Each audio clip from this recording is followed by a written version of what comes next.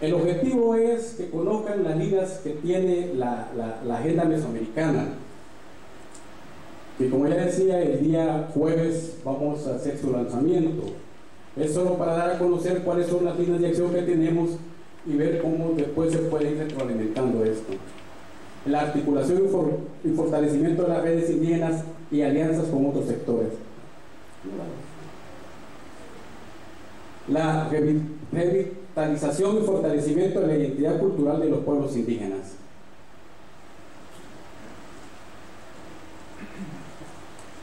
Estos son los, los, ejes que tenemos y que están contemplados dentro de la agenda mesoamericana. Esto nos va a permitir a nosotros también tener un posicionamiento a nivel de la región y a nivel de la misma cooperación, pues, porque aquí hay dos personas que desde la cooperación GIZ y Fondo Indígena que ya están comprometiéndose para ver cuáles de estos ejes pueden ir este, este financiando, pues, y poner ya en práctica lo que nosotros queremos. Entonces, esto sería para que nosotros conozcamos los cuáles son los ejes, porque luego después el lanzamiento se va a dar y muchas veces desconocemos cuáles son los ejes de trabajo que se como redes mesoamericanas. Así que hasta ahí, Lorena. Muchas gracias. Un aplauso aquí al consejero mayor por la presentación que nos hizo sobre la agenda indígena mesoamericana ya lo tenemos, eh, yo creo que ya está listo para ser entregado el día jueves, va a ser el lanzamiento por el cual le invitamos a todos y a todos y le estaremos diciendo la hora y lugar. Creo que Ramiro ya debe tener más o menos la idea esa de dónde va a ser el, el, el lanzamiento. Lo agarré chateando. Viendo la agenda, pero se quedó así como perdido. Si nos puede dar esa información.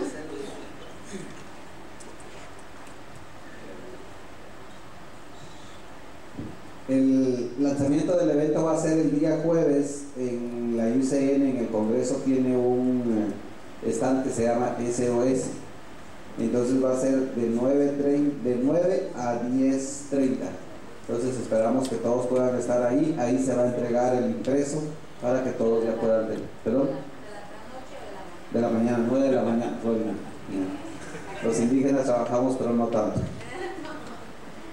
Sí, muchas gracias por la información, Ramiro. Y bueno, el consejero aquí nos informó eh, a grandes rasgos lo que contiene la agenda indígena, que como le ha dicho, pues son varios años de trabajo que hemos llevado a cabo con diferentes organizaciones de las tres redes eh, y con autoridades también de, nuestras, eh, de nuestros territorios que igualmente en su momento participaron y que por, por todo este proceso y también por el apoyo de la de UICN y otras eh, instituciones que en su momento también nos han ayudado para poder dar seguimiento a este trabajo que, que ha concluido con esta agenda indígena y que sin embargo sentimos pues en todos estos años la situación de los pueblos indígenas no ha cambiado casi nada y creo que la agenda contiene todo esto y, que ojalá entonces las instituciones, los estados eh, y las diferentes instancias lo puedan este, utilizar, compartir y apoyar en todo este proceso. Así que muchas gracias y ahora nos toca el otro segmento que es una mesa, un panel que va a estar moderada por el, por el señor Silver, Silver Elías. Él va a ser el moderador de la mesa. Eh, va a haber dos ponentes, Magali Lázaro, de la mesa. Sí, Magali Lázaro, por favor, si el moderador puede apersonarse. Y también eh, la otra presentación va a ser a señor Octavio.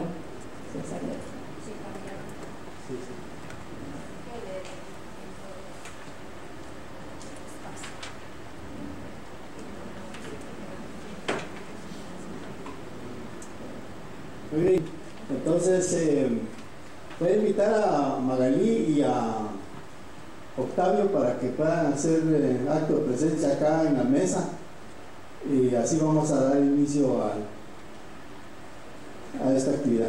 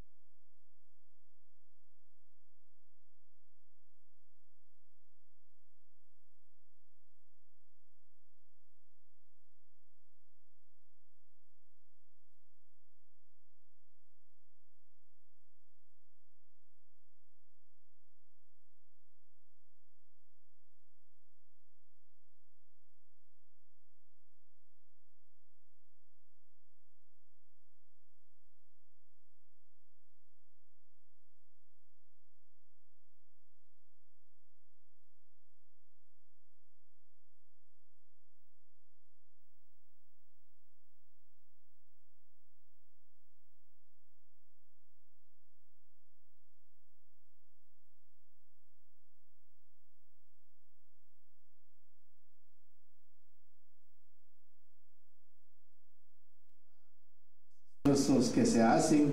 Y por toda la región centroamericana existen sin duda una serie de experiencias interesantes de cómo se están gestionando las áreas protegidas y los recursos naturales en general.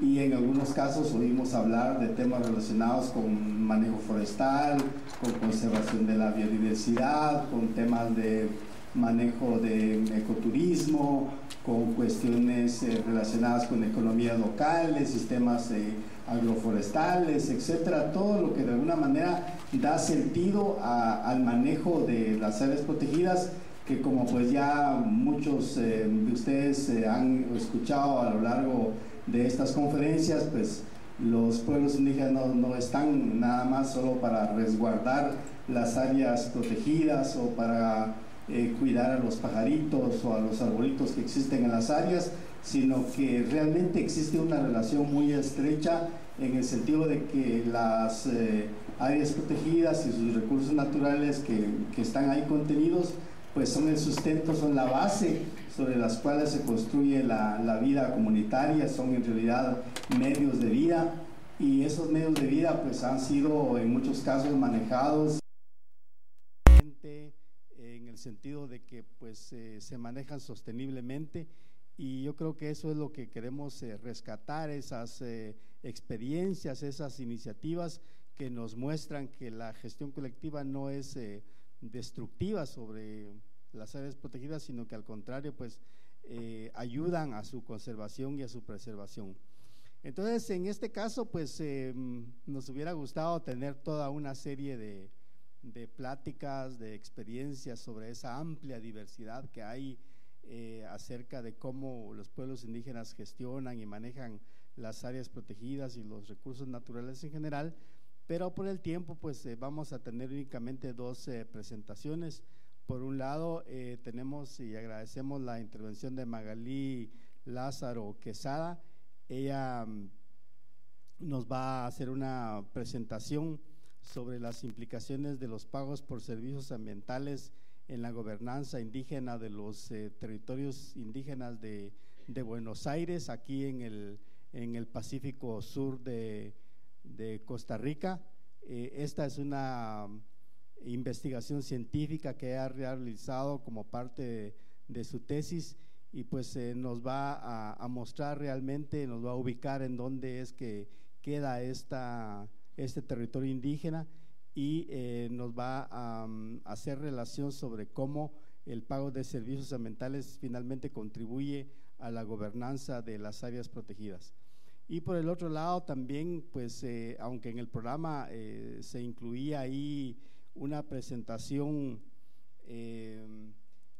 sobre la biosfera de Tahuanca Asanji, realmente se ha cambiado y ahora vamos a tener la eh, colaboración de Orlando Calderón, ahora sí lo dije bien, él es em, eh, del pueblo mm, Misquito de Honduras, de la organización MASTA, y eh, ahora nos va a hacer una presentación sobre cómo es que se da el manejo de la reserva de la biosfera del río Plátano en la costa atlántica de Honduras. Así que les ruego hacer ese, ese cambio en sus respectivos programas. Entonces las reglas son bastante sencillas, vamos a tener 20 minutos de, intervención eh, por cada uno.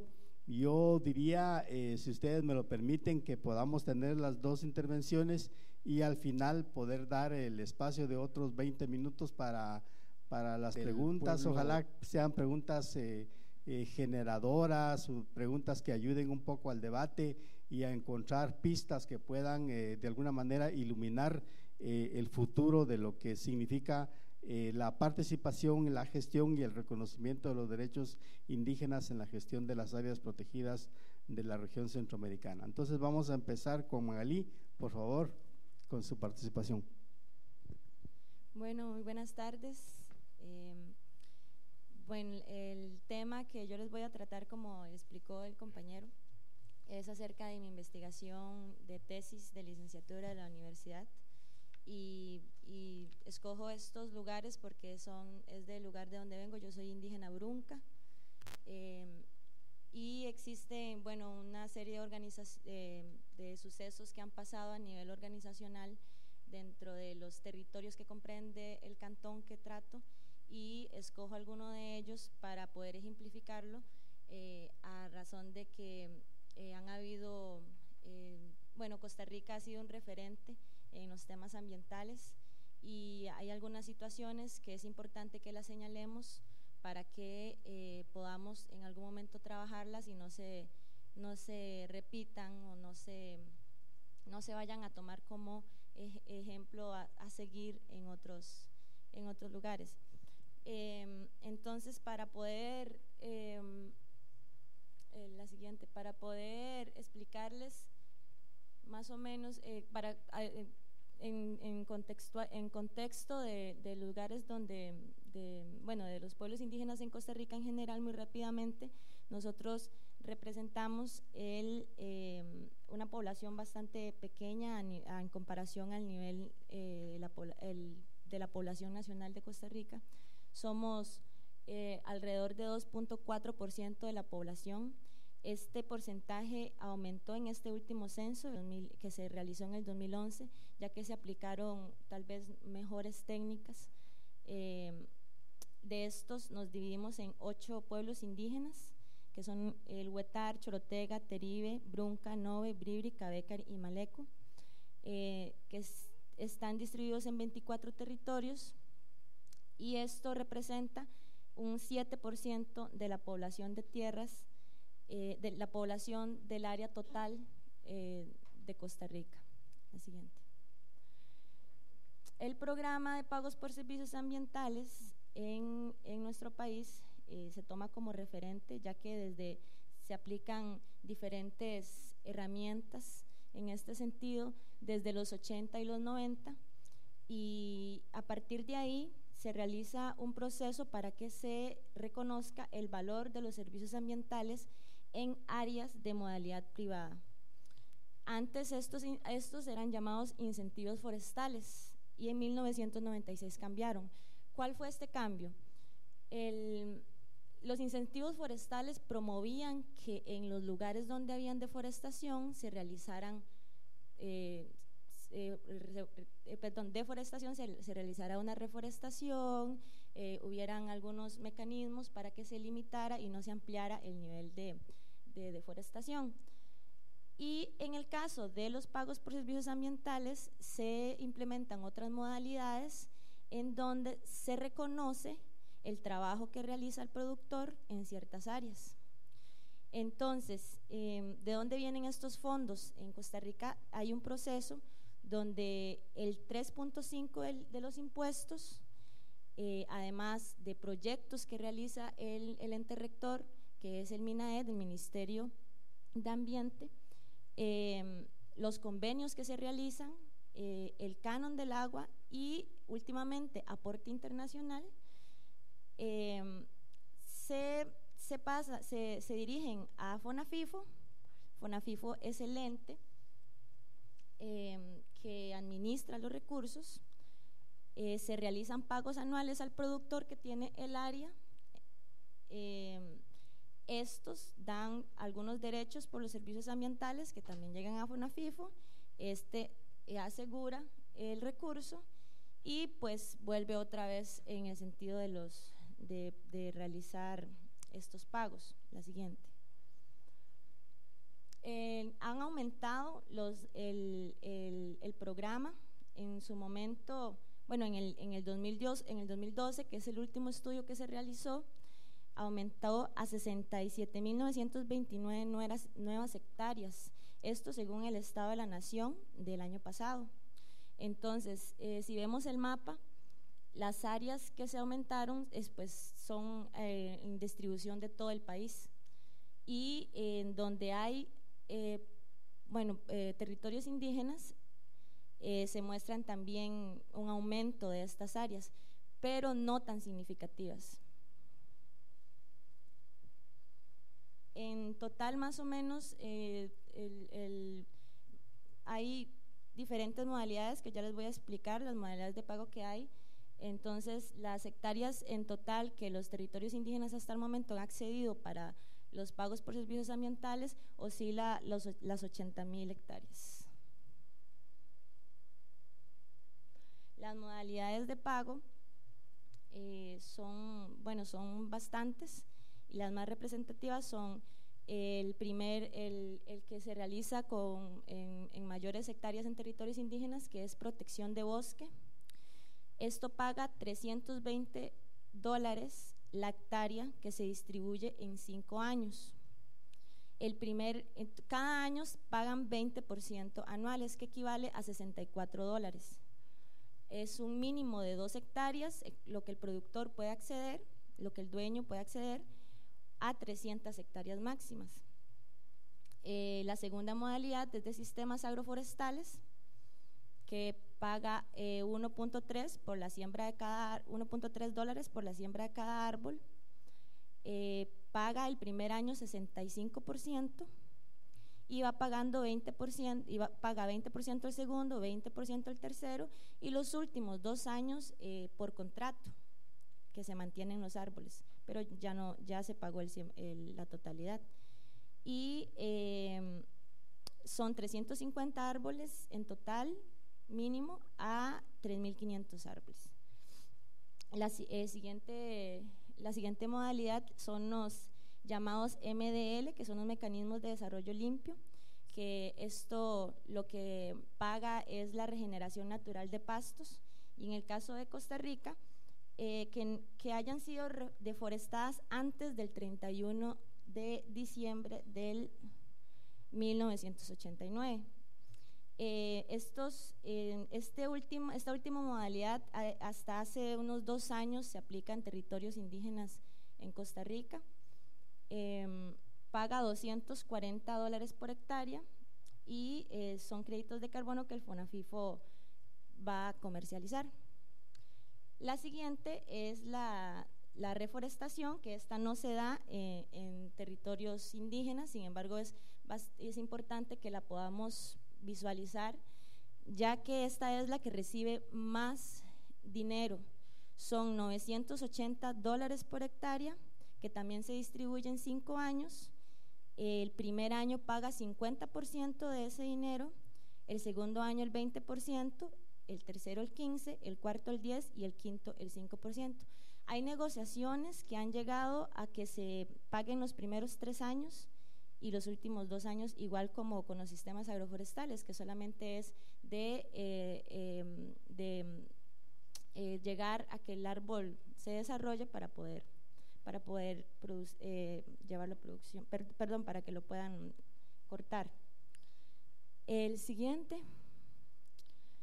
El marco jurídico que respalda todo esto, pues en sí es la constitución política, tenemos también todos los instrumentos internacionales que se han hablado en nuestro país, la Declaración eh, de Universal de los Derechos Humanos, la Declaración de Naciones Unidas sobre Derechos de los Pueblos Indígenas, el Convenio 169, el Pacto Internacional de Derechos Económicos y Sociales, la Convención sobre la Eliminación de todas las formas de discriminación, el Pacto Internacional de los Derechos Civiles y Políticos, y eh, la ley indígena 6172 y su reglamento, que es un decreto que más tarde vamos a comentarlo. Y en el, en el ambiental, eh, los convenios sobre diversidad biológica, el Convenio Regional para el Manejo de Conservación de los Ecosistemas, la Ley Forestal de Costa Rica, que también tiene su reglamento, la Ley de Autoridad Reguladora de los Servicios Públicos y la Ley de Biodiversidad. Eh, ¿Por qué hacemos relación con eh, el tema de la gobernanza? Es importante, ya que pues eh, estas modalidades que les acabo de explicar de los pagos por servicios ambientales en Costa Rica no contempló la forma de organización o la forma legal en la que este, vivimos los pueblos indígenas. Entonces, han habido una serie de situaciones que, como les dije, es importante que aclaremos porque eh, vivimos gobernabilidad y, hay una diferencia muy grande hacia la gobernanza. En el tema de gobernabilidad, el decreto número, el decreto que nos dice eh, que las asociaciones de desarrollo, que ahí como ven dice ADIS, son la representación legal de los territorios indígenas. En cada territorio, según la ley, em, según la ley, las reservas eh, van a ser eh, eh, dirigidas por estructuras tradicionales o de las leyes de, o que las leyes de la República las rijan. En este sentido, em, ese es el artículo 4 de la ley indígena cuando se realiza el decreto que les mencioné, eh, se escoge la forma de organización para ejercer la titularidad. Entonces, es el ente legal que eh, lidera la organización, se llama Asociación de Desarrollo.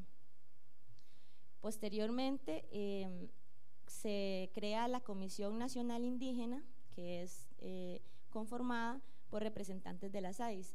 Aquí es importante recordar que en un principio la Comisión Nacional Indígena no era conformada solamente por asociaciones de desarrollo, había representación civil, habían organizaciones eh, eh, indígenas, habían universidades, habían una serie de entidades y en, el momento que se, que se reglamenta y que, se, que las ADIs empiezan a tomar más poder en los territorios, entonces la CONAI se limita solamente a representantes por asociaciones. De ahí vamos a la gestión, que ya ahí podemos referirnos más a la gobernanza, que es la reivindicación eh, de la vigencia de autoridades tradicionales propias que se fundamentan en el pensamiento indígena. Y en este caso existen en cada territorio algunas de estas que mantienen eh, los fundamentos del pensamiento indígena propio y, otros que han sido tal vez eh, han eh, empezado con, con, desde el mismo discurso, desde, desde las mismas luchas, pero con algunos intereses ilegítimos. Ahora vamos a mencionar estos ejemplos. Pero eh, es, es, un hecho y, y, una afirmación que existen autoridades tradicionales propias en, en, en, en los territorios que vamos a tratar y eh, cuando tratamos este tema es un error frecuente que se cree que la gobernanza indígena eh, se, le ve solo, se le ve como un término de unicidad de todas las formas de poder. Esto quiere decir que en, en los territorios indígenas, cuando hablamos de gobernanza indígena, no podemos hablar de una sola.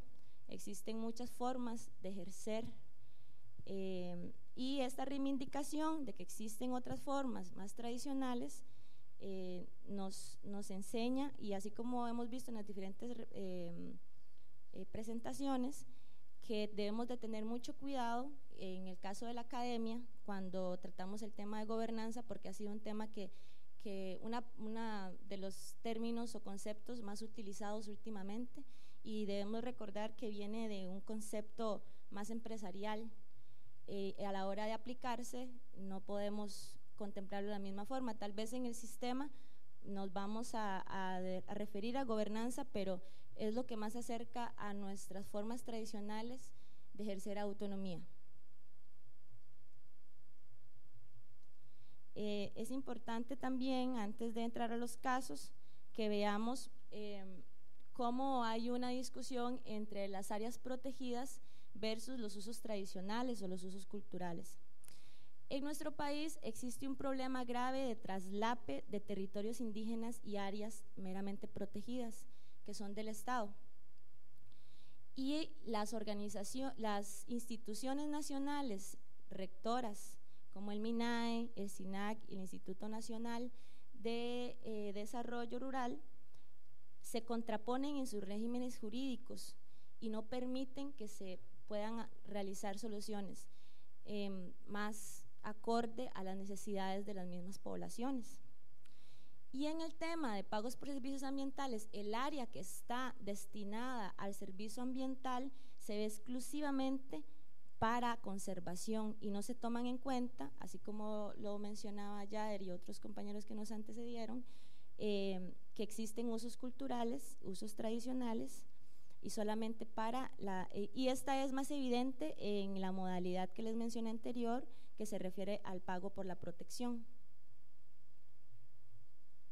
Eh, bueno, entonces en mi estudio el, el, contexto en sí es el Cantón de Buenos Aires, esto queda en el Pacífico Sur de Costa Rica.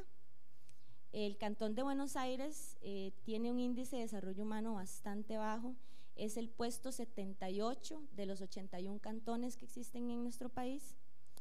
En este cantón también es donde existen una gran cantidad de diversidad de pueblos y territorios. Son seis territorios indígenas en su totalidad y esto es aproximadamente el 50% del cantón. También importante eh, eh, mencionarles que este, eh, este, estos territorios están a las faldas del Parque Internacional Amistad. Entonces, podríamos también decir, tal vez no hay un dato oficial que yo que les pueda mencionar para referenciar, pero sí de las mismas comunidades que son las que mantienen la mayor cantidad de bosque y, de, las, de, este cantón. en el cantón de Buenos Aires hace, hace más de 20 años existe la Asociación Regional La Origen del Dique, Saradiques, que ha hecho bastante trabajo político y que ahora eh, con, con, trabajo eh, y, la experiencia de la Mesa Nacional Indígena han creado en la zona sur la Mesa de Diálogo, que es un espacio de, de incidencia y de, de, una, de incidencia y, y, bueno, análisis de las situaciones que pasan en, en los territorios de Buenos Aires. De, y es un espacio de alto nivel porque hay representantes de todos los ministerios, así como representantes también de los diferentes territorios. La siguiente. Eh, para resumir un poco eh, la situación que hay en estos territorios, eh, solamente voy a tomar el ejemplo de cuatro de ellos, de los seis. Y algunas variables que tienen que ver con los dos temas que estamos tratando, que son la, la gobernanza y, y, los pagos por servicios ambientales. Eh, como les mencioné, la Asociación de Desarrollo es el ente legal del, territorio y como vemos en la mayoría de ellas existe la Asociación de Desarrollo, pero hay una particularidad en Terra porque no está ejerciendo en este momento la asociación.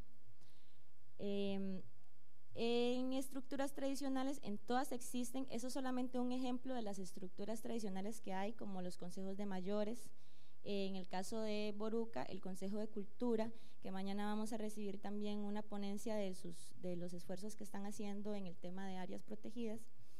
Em, y el tema de la tenencia de tierra es, es muy crítico porque en manos de no indígenas en la mayoría están a más del 40%.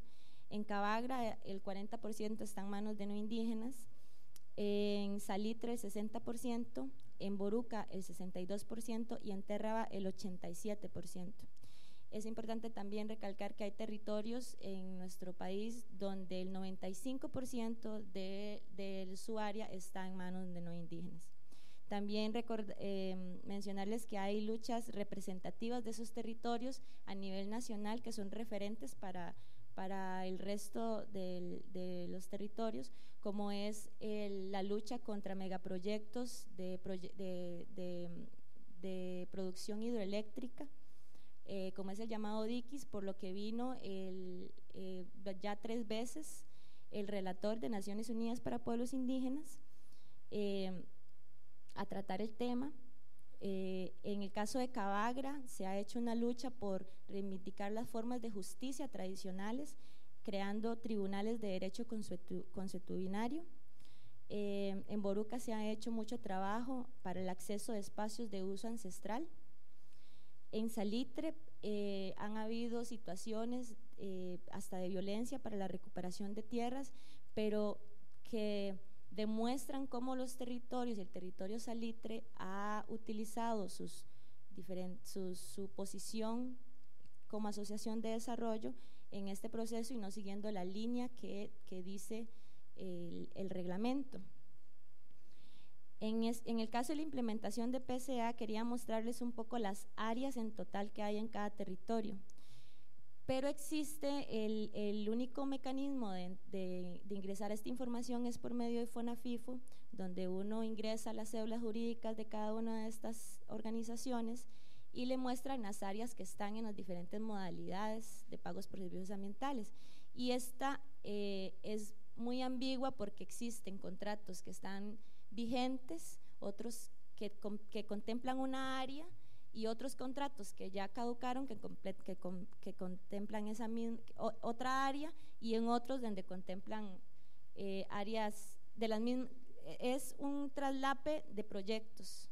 Entonces, sacar el, el total de cada uno de los territorios habría que esperar hasta que cada uno de los proyectos concluyera o se haya hecho un pago adecuado de los, de los recursos a los poseedores. Em, y la forma de distribución de los, de los PCA es, yo les mostré cómo llega el, el fondo para que se hagan los pagos por servicios ambientales al territorio. El, el FONAFIFO hace el pago a la, al, al, ente legal, que es la Asociación de Desarrollo. Pero no hay una directriz, no hay un reglamento, no existe un, un, eh, un documento oficial que diga qué hace la Asociación de Desarrollo cuando llega ese dinero a sus cuentas. Entonces, en el caso de Terraba, que ahorita como no tienen asociación, no hay personería jurídica, no están recibiendo. Pero ellos realizaron un tiempo por el derecho de posesión. La persona que tenía derecho de posesión a, la, en, el territorio se le pagaba el tramo que estuviera en, conservación o en la modalidad de pago por servicios ambientales. En el siguiente territorio, que es Cabagra, es completamente diferente. La asociación se deja el 100% del, del, pago por servicio ambiental y hace la gestión del recurso para el territorio. En el caso Boruca también es por derecho de posesión y se han, se han, han habido conflictos muy grandes porque han eh, pagado algunos, algunas personas que en su momento no tenían, no estaban en contratos, no estaban, eh, em, digamos que legalmente también en el territorio, eh, algunas personas que tienen pagos atrasados por más de dos años. Eh, en Salite también se ha hecho por derecho de la posesión. El siguiente. Esto, bueno, en el sentido de que de que se manejan muchos recursos a nivel de los territorios, entrando los pagos por servicios ambientales, ha sido una forma de sostener económicamente a la Asociación de Desarrollo. Entonces han habido una serie de resoluciones respecto a quién gobierna, cómo se legitima el gobierno que hay en ese territorio. Entonces, en el 2010 hubo una resolución para el caso del territorio de Térraba, que explicaba que solamente el Consejo de Mayores podía decir quiénes eran indígenas y quiénes eran no indígenas. Esto eh, fue un gran logro para el resto de, lo vimos como un logro muy grande para el resto de territorios que se considerara esto mediante una resolución de la misma sala cuarta. Sin embargo, ha sido tomado en otros casos y en otros territorios para contrarrestar las mismas luchas que se están dando en contra de los no indígenas en territorios. En Salitre ha habido un trabajo muy grande para la recuperación de tierras y estas mismas personas que se han, que se han visto perjudicadas han creado organizaciones como la de Salitre, que se llama Asociación de Consejo Indígena de Salitre, que no necesariamente está reconocida por el resto de la comunidad, pero confunden a la hora de entregar algunos, algunas eh, pruebas para, eh, para realizar un discurso que bueno, podría verse como perverso, utilizando las mismas, eh, las mismas experiencias en las luchas para eh, tratar de acceder también a estos recursos. Y hemos tenido una serie de, reacciones eh, del Estado que las podemos ejemplificar en, en algunos más representativos. El Instituto Nacional de Desarrollo Rural en su momento se llamaba Instituto de Desarrollo Agrario, realizó una acción de inconstitucionalidad contra la ley indígena. Esto quiere decir una institución del Estado demandando que se elimine la misma ley que nos protege. Esta la emitió el dirigente del mismo instituto en ese momento, IDA. Eh, la sala cuarta lo rechaza en cuanto llega, pero marca un referente de cómo el Estado está buscando la forma de eliminar las formas eh, de posesión colectiva que tenemos en los territorios, para no devolver o, no tener que pagar los platos rotos a los cuales ellos mismos han sido responsables. Han habido propuestas de que los territorios sean parcelados porque existen los supuestos de que no obtenemos créditos, no podemos eh, obtener ningún préstamo, no podemos eh, vender nuestra tierra porque es colectivo. Entonces existen algunas propuestas eh, para que se divida y estas también han sido promovidas por el mismo Estado. Y algo interesante es que el año, en el 2012, un grupo de dirigentes del, de estos territorios se va a la Comisión Internacional de Derechos Humanos a explicar la situación que están pasando en el tema de gobernabilidad.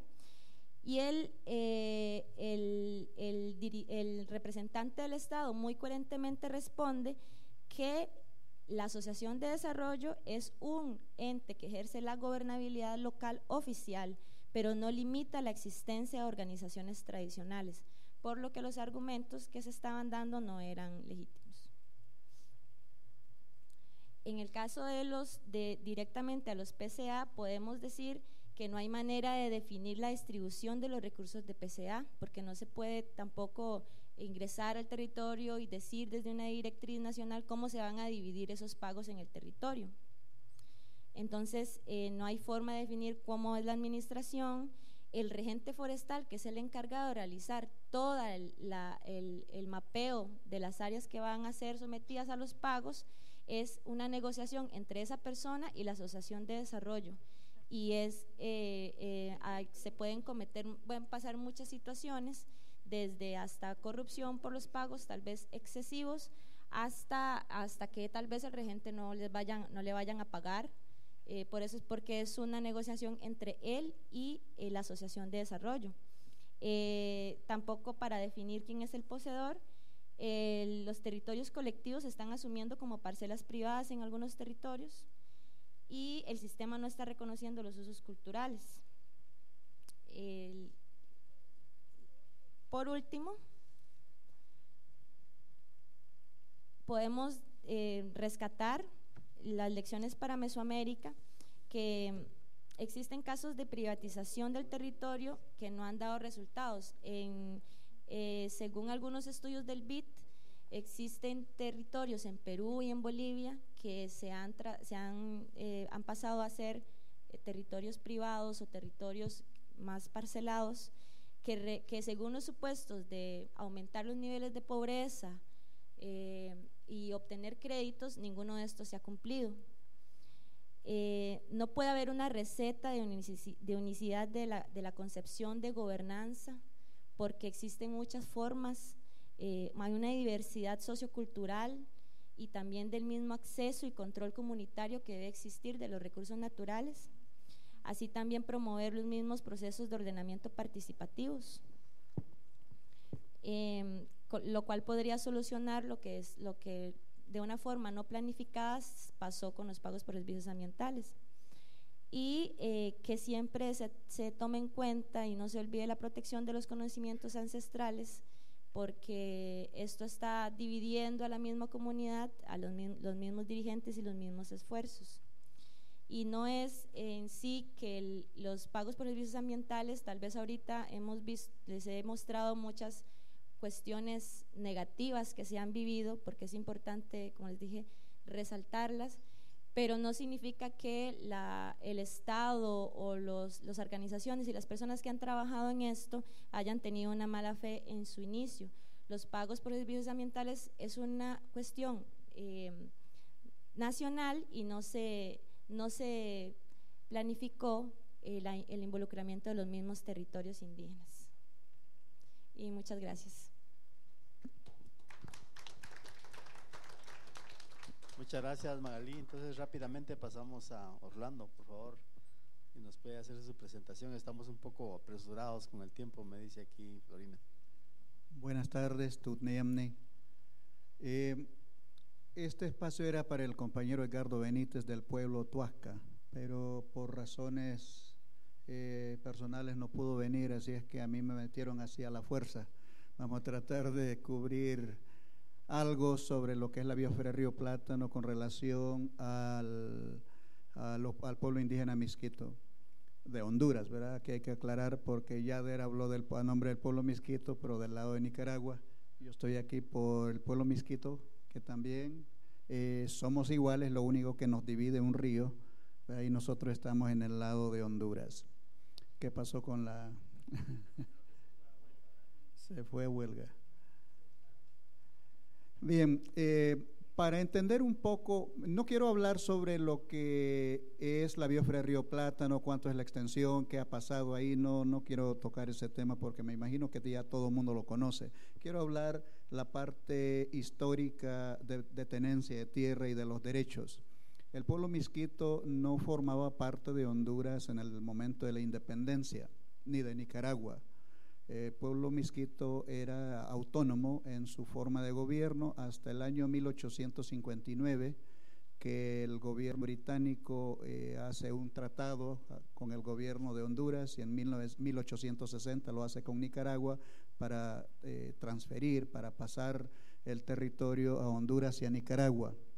Durante este periodo, durante este tiempo, pues eh, en el tratado eh, hace mención algunos artículos, caso de Honduras, en el tratado Cruzwake menciona de que en el artículo 3 que se le respetará el derecho de posesión de tierras a los pueblos indígenas que habitan estos territorios. Sin embargo, el Estado de Honduras hace caso omiso a este artículo y o este de, a este convenio o este tratado. Eh, razón por la cual pues la primera acción que hace el gobierno de Honduras es dividir el territorio en tres partes. Crea tres departamentos. El departamento de Gracia de Dios con el 50% del territorio, el otro 50% lo divide al departamento de Colón y al departamento de Lancho. Entonces eso nos lleva a quedarnos solo con el 50% del territorio y que es una, mm, eh, una situación legal que tenemos pendiente en estos en estos momentos con el, contra el gobierno de Honduras. Sí, dele. Siguiente. Ese es un mapa histórico eh, que encontramos en el momento de, de, la firma del tratado entre Inglaterra y Honduras. Se muestra ese mapa donde refleja cuál era el territorio del pueblo misquito. Si lo podemos alcanzar, eh, lo podemos ver que es cerca de Trujillo, en la desembocadura del río Aguán, en Honduras, y viene a terminar abajo en en la frontera Costa Rica-Nicaragua, el río San Juan. Ese era el territorio eh, ancestral del pueblo misquito. Em, habíamos mencionado, ya le mencioné ahí sobre esto, eh, se integra, em, pero también quiero mencionar que en esa división que se hace en los años 1890, 1900, por ahí, eh, la división de los departamentos eh, se le quita el 50% del territorio que era eh, la que es hoy la biosfera Río Plátano, que era parte del territorio histórico del pueblo misquito. Ahí le traigo una imagen de la biosfera Río Plátano como se ve actualmente. Una línea blanca divide desde arriba hasta abajo, eh, casi por la mitad de la biosfera Río Plátano. Esa es la línea divisoria entre el departamento de Gracias a Dios, el departamento de Olancho y Colón.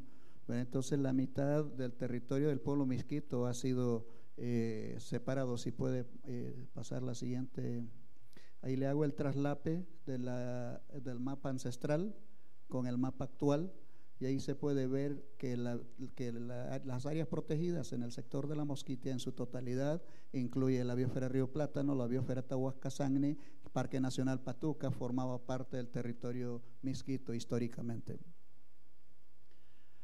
El Estado de Honduras le mencioné de que le expropió el 50% de los territorios, que eso equivale a 16 mil kilómetros cuadrados convirtiéndolo en metros cuadrados para poder tener un costo, eh, equivale a 16 mil millones eh, de, metros cuadrados de tierra.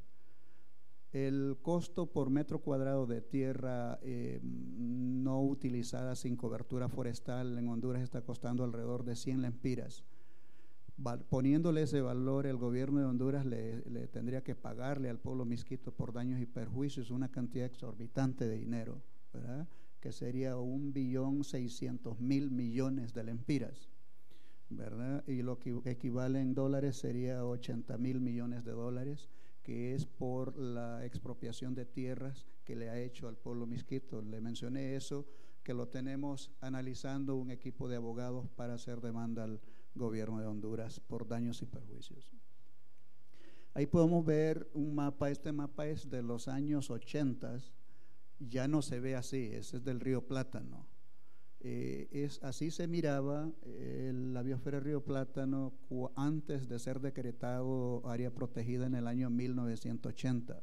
Ahora, si usted toma una fotografía, no tengo lastimosamente una imagen actual, si toma la fotografía, lo que va a ver ahí son potreros eh, de terceros, de invasores que han llegado ahí al sector con la venia del gobierno de Honduras. Eh, le menciono ahí que en 1980 declara áreas protegidas y al día de hoy el 70% de la cobertura forestal eh, de, la, de, la, parte boscosa se ha desaparecido. Hay un 30% que está ubicado en la zona núcleo, pero en el sector de la mosquitia. El sector que quedó en el departamento de Olancho ya solo son potreros, gracias a la intervención del Estado de Honduras.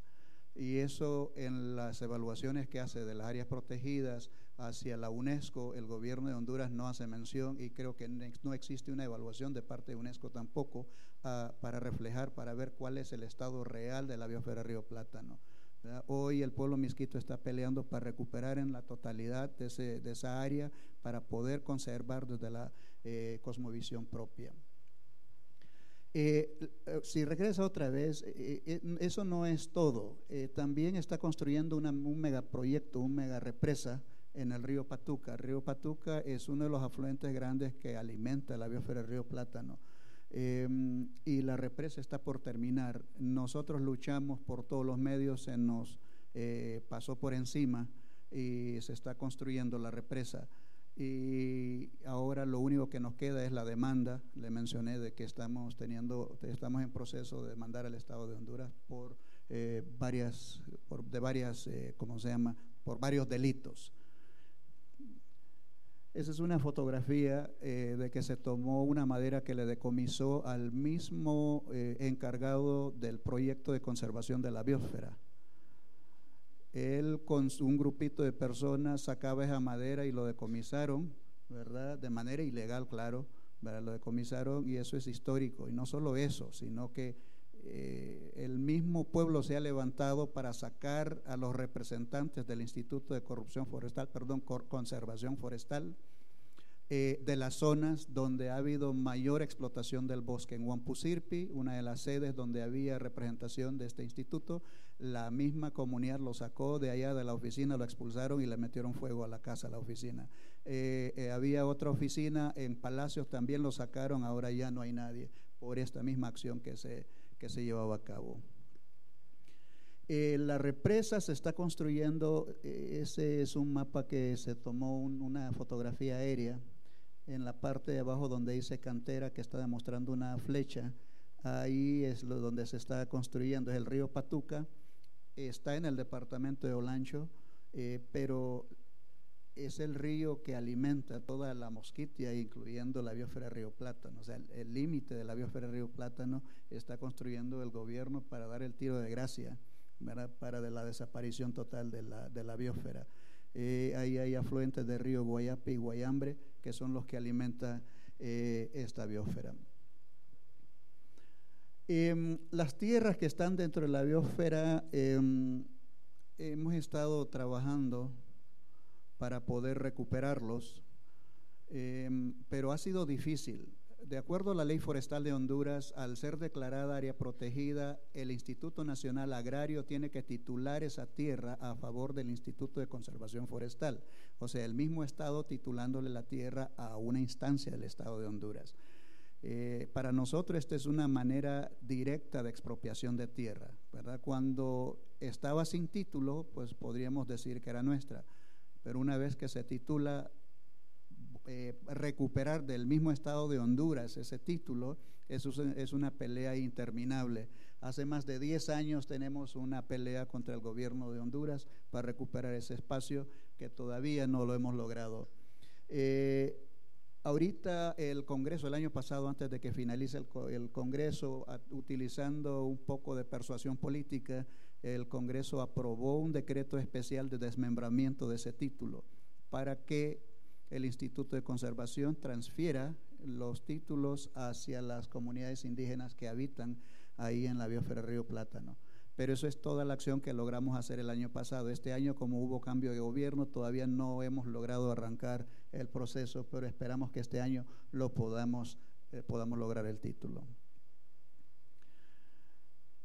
Em, desde hace aproximadamente 18 años, eh, la administración de la biosfera Río Plátano ha estado a manos de KFW, eh, mencionó otro nombre anteriormente, eh, pero son los mismos alemanes que están ahí. Primero inició con el nombre de Proyecto Biosfera Río Plátano, después cambió, después de dos periodos de administración, cambió el nombre a, PROTEP, Proyecto para la Conservación y Protección de la Biosfera Río Plátano y algo más ahí. Y durante todo este periodo eh, no ha hecho nada. Tiene su oficina con aire acondicionado en Tegucigalpa, pero dentro de la biosfera no hay nadie. No se da cuenta de lo que está pasando. Este año, pues eh, hemos estado, bueno, del año pasado hemos estado peleando contra esta organización. Su idea es continuar ahí eh, solicitando más fondos para continuar en el proceso de conservación, entre comillas. Y nosotros le dijimos que eso no va a continuar. Lo que vamos a hacer es una vez tituladas las tierras, pues va a estar a manos de nosotros y nosotros vamos a eh, manejar, administrarlo de manera como nosotros consideremos conveniente.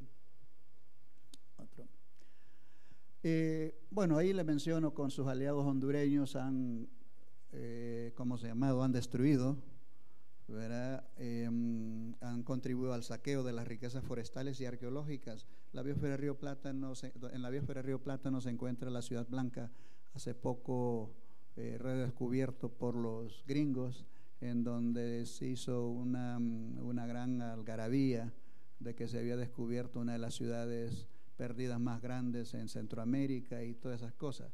Nosotros ya lo sabíamos la existencia de eso, pero simplemente no queríamos compartir para evitar el saqueo. Pero hoy, pues el saqueo se está llevando a cabo, ¿verdad? Dentro de eso, pues los mismos conservadores, disque conservadores de la biosfera Río Plata no son culpables de toda esa picardía. Em, bueno, ahí menciono de los técnicos que ya le mencioné, que ubicados en, la biosfera Río Plátano. Eh, también menciono allá la zona eh, toda, toda la zona de amortiguamiento, la zona cultural, se supone que tenía que haber titulado parte de la agenda del proyecto este de Biosfera Río Plata, no era titularle las tierras a los indígenas. 18 años después no se ha titulado ni una pulgada y entonces no creemos, no queremos que continúe ni, tampoco queremos, creemos que lo van a lograr, si, aunque le dé otros 18 años más. Em, claro que eh, nuestra lucha ahora es a través de otra instancia. Eh, este Instituto de Conservación pasó a formar parte de la CERNA, Secretaría de Recursos Naturales y Ambiente, y estamos tratando de negociar negociando a través de, esta instancia poder lograr el título. En la administración propia, pues sí queremos los fondos de KFW, pero ya no lo queremos a través de estos pícaros que, lo han, que han estado ahí por 18 años. Eh, alguna de las observaciones que queremos es que el pueblo está indignado, ¿verdad? No lo quiere ver a estos proyectos, ni a los directores, ni a los técnicos en la mosquitia. Igual nosotros hemos roto relaciones con ellos desde el año pasado. Em, estamos tratando de incidir ante KfW, ante la misma cooperación alemana, de que no queremos que sigan financiando a instancias o organizaciones de esta naturaleza, porque lo único que hacen es sentar en una oficina, ganar sueldos jugosos en euros, ¿verdad? A nombre de la conservación de áreas protegidas en la mosquitia y no se ha hecho nada. ¿verdad? Y más abajo decimos de que sí nosotros queremos recuperar las tierras para la conservación desde nuestra propia cosmovisión. Muchísimas gracias. Muchas gracias, eh, Orlando. Eh, muchas gracias también a Magalí. Yo creo que hemos tenido dos presentaciones eh, que son verdaderamente ilustrativas sobre lo que pasa con los pueblos indígenas y los estados, por un lado, de qué manera, como nos decía Magalí, programas como los pagos por servicios ambientales realmente son inconsistentes y benefician muy poco a los pueblos indígenas cuando existen estructuras eh, gubernamentales e institucionales que mm, no reconocen los, derechos de organización y entonces definitivamente pues los beneficios eh, no llegan hasta ahí sino que se quedan en otras partes. Y por el otro lado también eh, lo que nos manifiesta Orlando de la manera en que la falta de, de consistencia del Estado y de reconocimiento de los derechos pues ha sido el factor principal para la depredación y el caos que vive la reserva de la biosfera del río Plátano en Honduras. Pero hay algo simpático ¿no? que, llama la atención y de cómo, por ejemplo, en el lado de Costa Rica, una misma institución del Estado acciona eh, constitucionalmente contra la ley de, de comunidades indígenas, contra la ley indígena, ¿verdad? Es una cuestión interesante que es muy similar al otro hecho de Honduras, eh, como por ejemplo los mismos responsables del cuidado de, la reserva forestal son los mismos que, que pues encabezan la depredación. Entonces me imagino que hay preguntas interesantes, vamos a abrir el, debate para, para algunas preguntas que ustedes quieran plantear, por favor, eh, de verdad y si pueden decir a quién está dirigida o si son preguntas eh, generadoras para que todos podamos intervenir. Entonces, Florina, por favor, va a ayudarnos acá.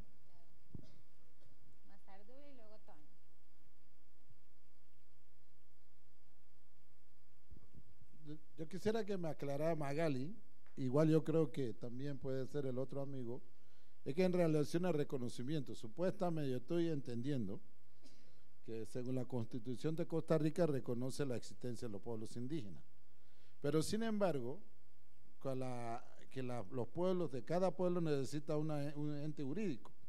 O sea que con lo que ha habido que, eh, que tenía uno y después se formó otro, o significa que cualquiera puede eh, solicitar a su personalidad jurídica y representar un pueblo.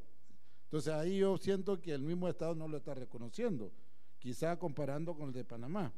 El de Panamá, la constitución lo dice, y, lo, y lo, el, con los congresos no necesariamente tiene que sacar persona jurídica para ser reconocido, sino que ya es un pueblo. Si la constitución lo dice que existen, ¿por qué tiene que ser la parte legal?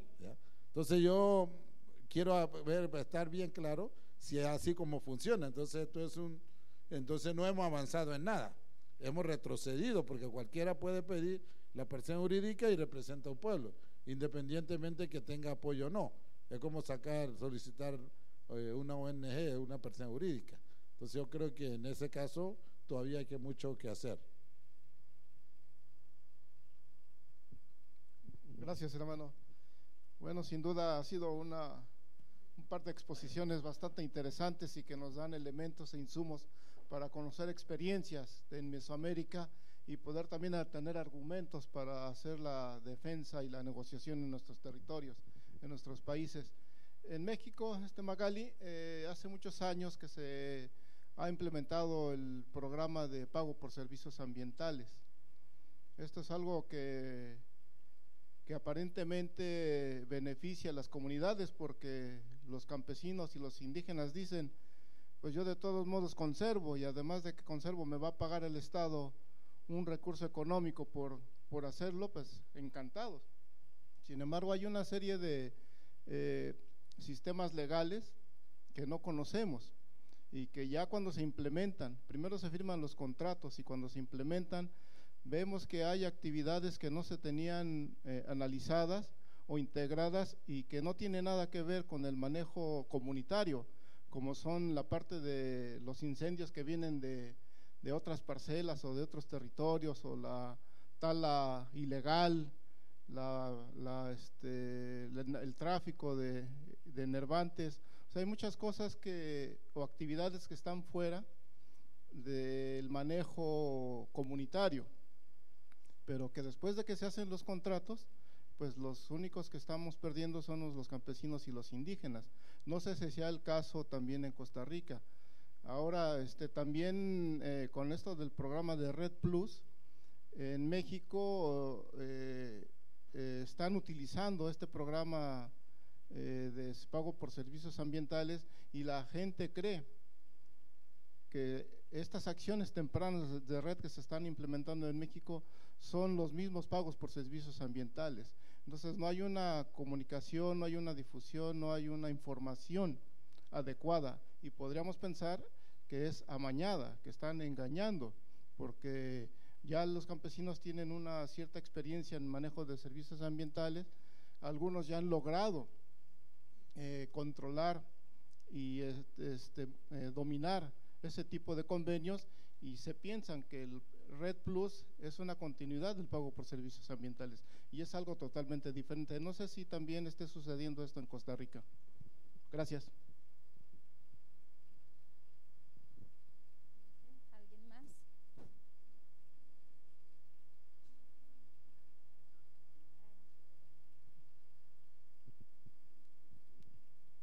Muchas gracias por, las presentaciones. En, la oficina en Washington eh, tenemos como directora a Armstrong Wiggins, que es un miquito de, Nicaragua, con una experiencia eh, distinta en la protección de tierras con respecto a lo que ha comentado el hermano miquito de Honduras. Pero seguramente si Armstrong estuviera aquí, estaría muy solidarizado con lo que dijo el hermano de, Honduras eh, en términos de estrategia frente a estas iniciativas conservacionistas, que en un momento eran llamadas eh, eh, cambio de recursos por naturaleza, GEFT, eh, siguen siendo llamadas a parques o áreas protegidas en tierras indígenas.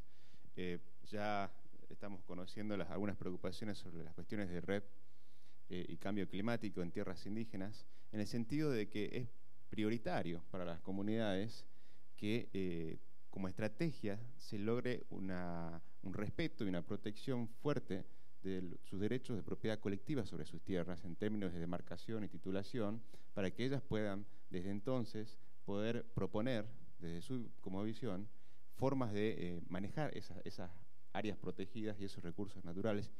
Y nunca yo he escuchado, eh, salvo en, el panel anterior, que este, se propone algo un poco más procedimental como discutir consulta, discutir consentimiento libre, previo, informado. Y nos estamos olvidando de las bases fundamentales por las cuales hoy los pueblos indígenas tienen un reconocimiento de derechos a nivel internacional, que es esa de ser entidades soberanas, distintivas dentro de los países y sobre la base de eso tener un reconocimiento de derechos colectivos para autogobernarse y para tener una propiedad colectiva sobre sus tierras, que es la, la yo diría, los dos elementos más fuertes del reconocimiento de nuestro derecho a nivel internacional y yo vi en la discusión anterior, no en este panel, que se proponía como propuesta mesoamericana discutir cuestiones eh, para mí un poco eh, procedimentales y secundarias como consultas o consentimiento libre y previo informado, que no son sino procesos para poder dar a terceros la posibilidad de entrar en nuestros territorios.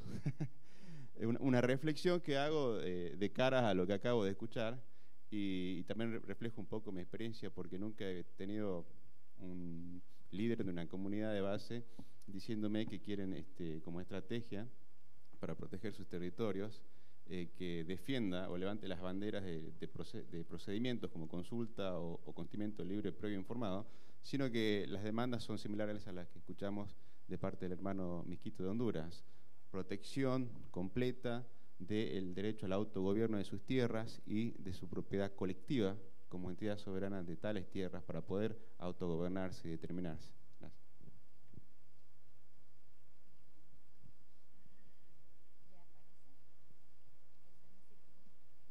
Muy bien, vamos a dar la palabra para que puedan responder tanto Magali como eh, Orlando, muy brevemente, por favor. Bueno, para la pregunta que nos hace Mazardule, eh, la, situación es esa.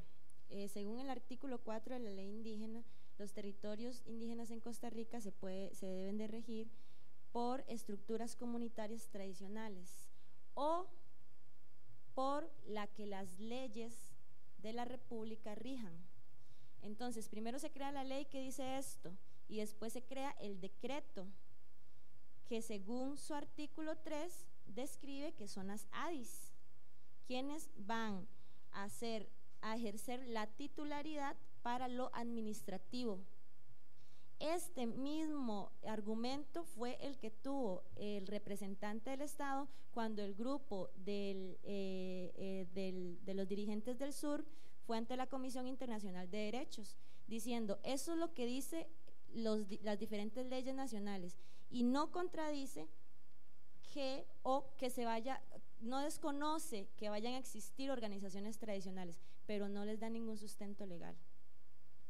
Entonces, estas cosas están pasando a nivel territorial, existe la Asociación de Desarrollo, se reivindica que las, las organizaciones em, culturales pueden decidir quién es indígena, quién no, con esos recursos de amparo como el de Terra, pero entonces ese mismo discurso lo acogen otras organizaciones con intereses ilegítimos, que son más económicos, y dicen nosotros tenemos los mismos derechos según esos mismos artículos. Entonces las mismas leyes se contradicen. Y en el caso eh, que nos menciona el hermano de México, este sí, yo eh, escuché hace rato lo que nos mencionaba acerca de las áreas em, eh, comunitarias, protegidas comunitarias. Eh, también estuve leyendo algunos de estos ejemplos con, con algunos, bueno, eh, algunos documentos que se han hecho desde la misma universidad donde yo estudio, con ejemplos de México. Y eh, es posible que algunos pagos por servicios ambientales en Costa Rica, en territorios indígenas, han sido tratados más comunitariamente. Pero es, la misma ley no permite que esto se solamente da una dirección, que llegue el dinero. Ustedes verán entonces, cuando un territorio como Cabagra agarra el 100% y dice, nosotros somos la administración, entonces nosotros vamos a, decidir qué se hace con el dinero. Entonces ellos administran el 100% del dinero y empiezan a arreglar calles, acomodar, a arreglar puentes, a hacer cuestiones comunitarias con muy buena fe. Pero esto lo que hace es que Em, las mismas eh, organizaciones eh, locales como las municipalidades dejen de, hacer su trabajo, porque eso no debería representar eso. Existen otras iniciativas como en Talamanca, donde las utilizan para becas, otras cosas, pero donde también está generando bastante división, ya que se está relacionando directamente con Red Plus. He escuchado discursos de, de organizaciones también estatales donde dicen, ¿para qué meternos con tanto de Red Plus?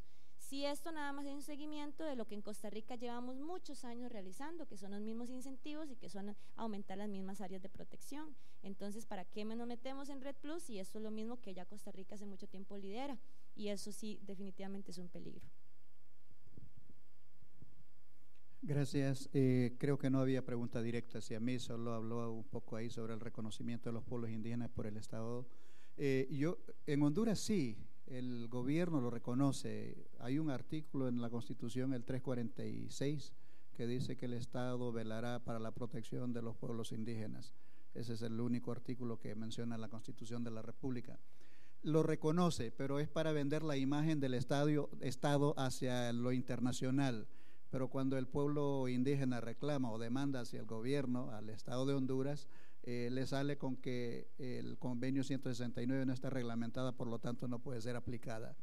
Entonces, situaciones como eso lo vemos, ¿verdad? Diario. Por eso la necesidad de que el pueblo misquito acudiera a crear una, un protocolo biocultural para la aplicación del proceso de consulta, porque las riquezas del país están ubicadas dentro del territorio del pueblo misquito llámese eh, exploración petrolera, llámese recurso marino costero, háblese de, recursos forestales. Entonces, para poder contrarrestar un poco todas las concesiones que el mismo Estado ha estado haciendo hacia eh, compañías transnacionales o, explotadores nacionales. Entonces, este protocolo lo hemos hecho como, nos ha servido como una barrera. Entonces, la gente ahora, pues, eh, tenemos un poco más de control. ¿Verdad? Sobre las organizaciones, eh, dentro del pueblo misquito no hay, solo MASTA. Hay otros, pero que son, forman parte de MASTA como estructura. Ahí existe la organización de mujeres, organización de jóvenes, de pescadores, de buzos, pero todos ellos conforman, forman dentro de la estructura de MASTA como, como organizaciones gremiales. Entonces no tenemos ese problema, es la representación única y tratamos de no infiltrar otros o terceros hacia nuestra organización para evitar conflictos. Y me saluda al amigo Armstrong, por favor, cuando llegue ya. Muchas gracias, eh, Orlando. Bien, yo creo que con estas dos intervenciones nosotros hemos eh, tenido pues eh, un poco el panorama de lo que podría estar aconteciendo en el resto de la región, en donde si bien es cierto los estados han realizado ah, algo que en algún momento se llamarían las reformas blandas, ¿no? de permitir cierto grado de, participación o dar cierto tipo de concesiones, digámoslo así, a los pueblos indígenas, en realidad ese tipo de reformas blandas no transforman para nada eh, las estructuras sociales, económicas y políticas que existen en los países. Realmente eh, el, derecho a la autodeterminación y a las autonomías en, muchos lugares eh, pues está un poco lejos de ser alcanzada y finalmente pues muchas de estas eh, eh, reformas que, que, hay en cuanto a, por ejemplo, reconocimiento de, de, algunos derechos de titulación, por ejemplo, de pago por servicios ambientales, pues son incompletos porque realmente no hay eh, una transformación en las estructuras de poder. Por ejemplo, en el caso de, la región Quita, por ejemplo, de Honduras, en donde realmente pues el mismo se ve, por ejemplo, el contubernio que hay dentro de las mismas entidades de conservación para que se dé esa depredación. Pero por el otro lado, yo creo que hay un elemento clave que, que, Orlando mencionó y es el hecho de que de alguna manera em, eh, los estados, yo creo que eso acontece también en muchos países, eh, concesiona o otorga, digamos, la coadministración de las áreas eh, protegidas a entidades que son ajenas realmente a las, eh, a las comunidades y a los pueblos indígenas. Es un poco como la repetición del sistema de encomiendas que existió en la época colonial en toda la región, es decir, darle a un tercero el control y la administración de las áreas protegidas y lo que se ha demostrado, igual que en Guatemala y en otros lados, es que realmente estos terceros no se comprometen con el, verdadero manejo de, que exige las áreas protegidas, sino que de alguna manera pues excluyen a las comunidades y entran en contubernio con los eh, eh, que depredan, con los que tienen actividades extractivas y entonces realmente no hay un beneficio pleno para las comunidades. Yo creo que esto, pues yo pienso que debería ser una exigencia que debería de plantearse de cara al, al Congreso que se está llevando a cabo en que realmente la administración, el control, el manejo de las áreas protegidas eh, que están situadas en, territorios indígenas, por lo menos mientras no haya un cambio eh, total, digamos, que reconozca el pleno derecho a las comunidades indígenas, pues que por lo menos pueda eh, ser compartido con los pueblos indígenas para que pues, se pueda tener una mejor gestión. Y por el otro lado, pues también la exigencia de de que los estados puedan tener reglas claras, eh, eh, no contradictorias entre sí, para que realmente pues los esfuerzos que hay de gestión de la naturaleza pues puedan beneficiar plenamente a los pueblos indígenas. Entonces con eso cerramos este foro, eh, este panel, perdón, y yo agradezco tanto a Orlando como a Magalí las intervenciones tan precisas y tan claras que nos han compartido. Muchas gracias.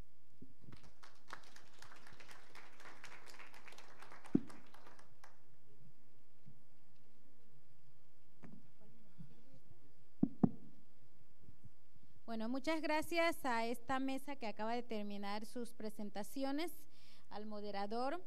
Ahora llamamos a continuación eh, al grupo modera, que va a ser moderado por Adalberto Padilla, por favor.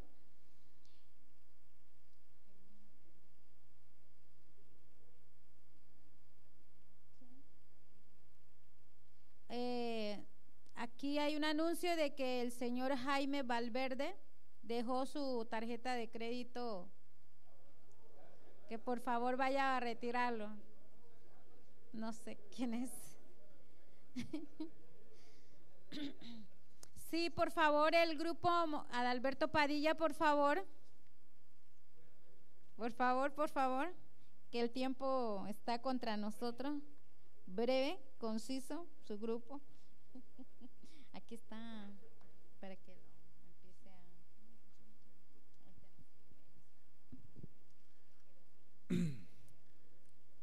Muy buenas tardes, hermanas y, hermanos. Estamos eh, en una hora bastante difícil, complicada, ya en la fase final de esta jornada.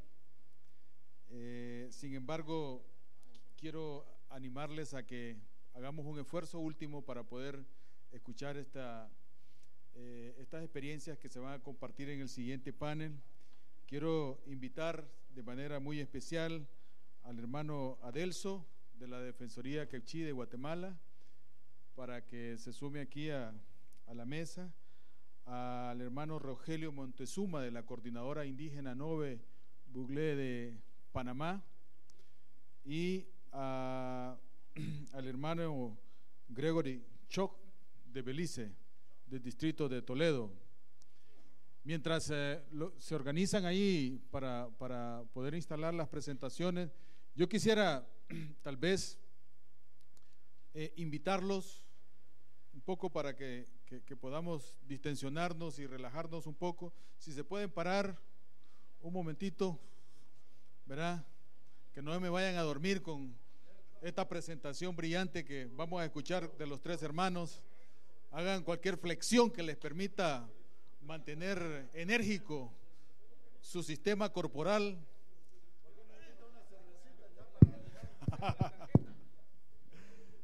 bueno, muchísimas gracias. Adelso. Bueno, eh, los compañeros van a presentar experiencias que están ligadas a un tema muy vigente en la región y que, eh, por cierto, en los últimos años observa eh, un nivel de crecimiento importante por políticas públicas que impulsan realmente la expansión de la industria extractiva, energética y algunos megaproyectos de infraestructura que está afectando a áreas protegidas y territorios indígenas. Y por cierto, también algunas áreas protegidas que están sobrepuestas en territorios indígenas. El hermano Adelso va a presentar su experiencia en la, de la zona de Izabal, de Guatemala, donde es uno de los sitios donde hay una importante cantidad de áreas protegidas y con una compleja dinámica de conflictividad y disputa del territorio. Adelso, tenés un máximo de 15 minutos para poder compartir tu experiencia. Te pido anticipadamente que me ayudes con el tiempo. Bien, Choqueré, un saludo especial del pueblo Cachi, de Izabal, especialmente del Estor. La realidad eh, del pueblo indígena, el pueblo indígena en Izabal, pues no es nada fuera de lo normal de los compañeros que exponían anteriormente, ¿verdad? Voy a contar un poquito la experiencia, de repente no llevando el, ritmo de las diapositivas, porque la diapositiva fue hecha para, para otro momento y creo que también el contexto acá pues es un eh, contexto que quiero pues aprovechar. Primeramente, aprovechar también de que hay, hay miembros de la cooperación internacional, ¿verdad? que puedan escuchar y saber cómo poder financiar a gente que también está afectando muy directamente a los pueblos indígenas en Guatemala. El departamento de Izabal tiene cerca de 11 áreas, más o menos 11 áreas protegidas, ¿verdad? Administradas por dos entidades, que es Fundaeco, que también, pues, no es la joya en el área, y también Defensores de la Naturaleza, que administra una de las áreas más grandes en Guatemala, que tampoco son la joya, y que también, bueno, eh, la cooperación internacional debe darse cuenta para que si se les va a financiar, pues que haya condiciones para que respondan a los derechos de las comunidades indígenas en las áreas protegidas. Principalmente cuando el pueblo indígena quiere accionar porque se le están violando los derechos al territorio, a la tierra y a sus recursos naturales, pues primero de un análisis comunitario dijimos, bueno, votemos la ley que declara área protegida la Reserva de Biosfera Sierra de las Minas. Y teníamos todo el apoyo eh, jurídico y todo el apoyo económico para hacer esa acción que es permitido en Guatemala. Pero después uno de los guías principales, que sería como la cabeza eh, de la autoridad tradicional en el área, nos dijo, pero ¿cuántos somos en el área protegida? vale la pena hacerlo. Y empezamos a hacer otro análisis.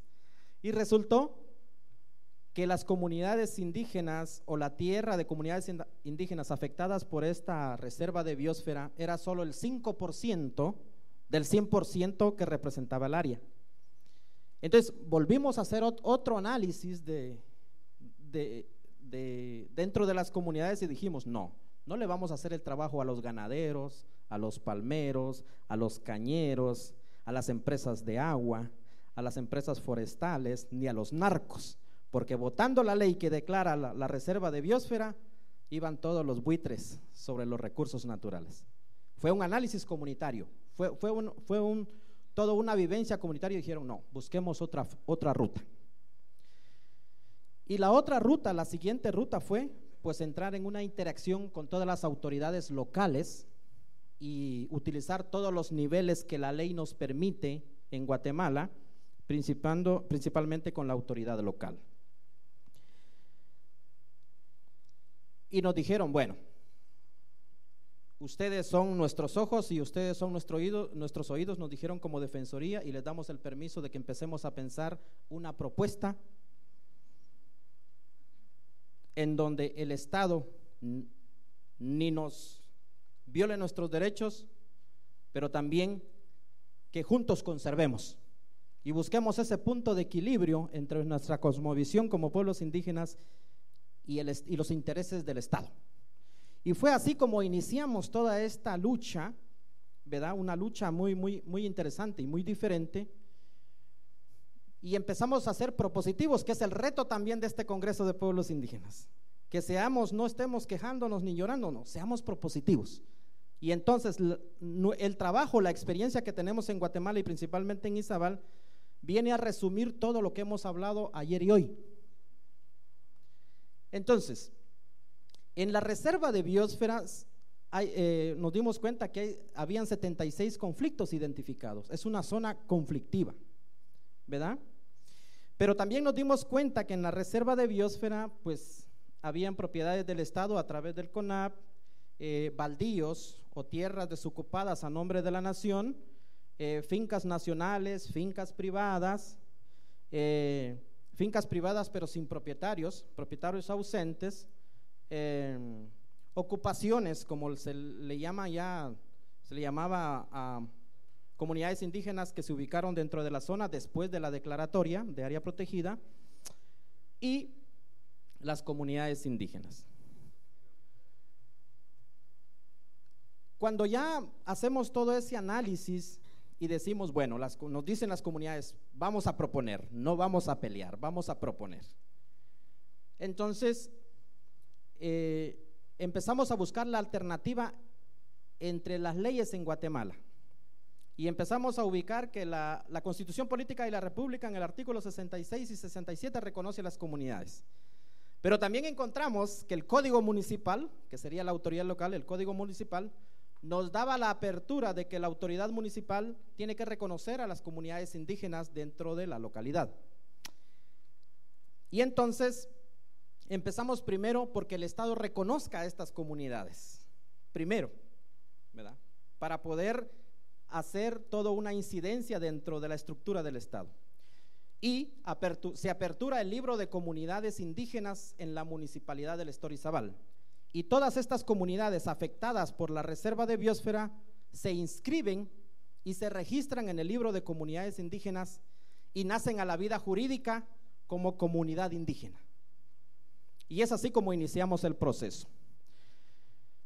Nos dimos cuenta también que las comunidades indígenas estaban ubicadas dentro de una finca nacional, o sea que ahí ya hay, pues hay un registro de las tierras comunitarias posesionadas por las comunidades y es una finca nacional.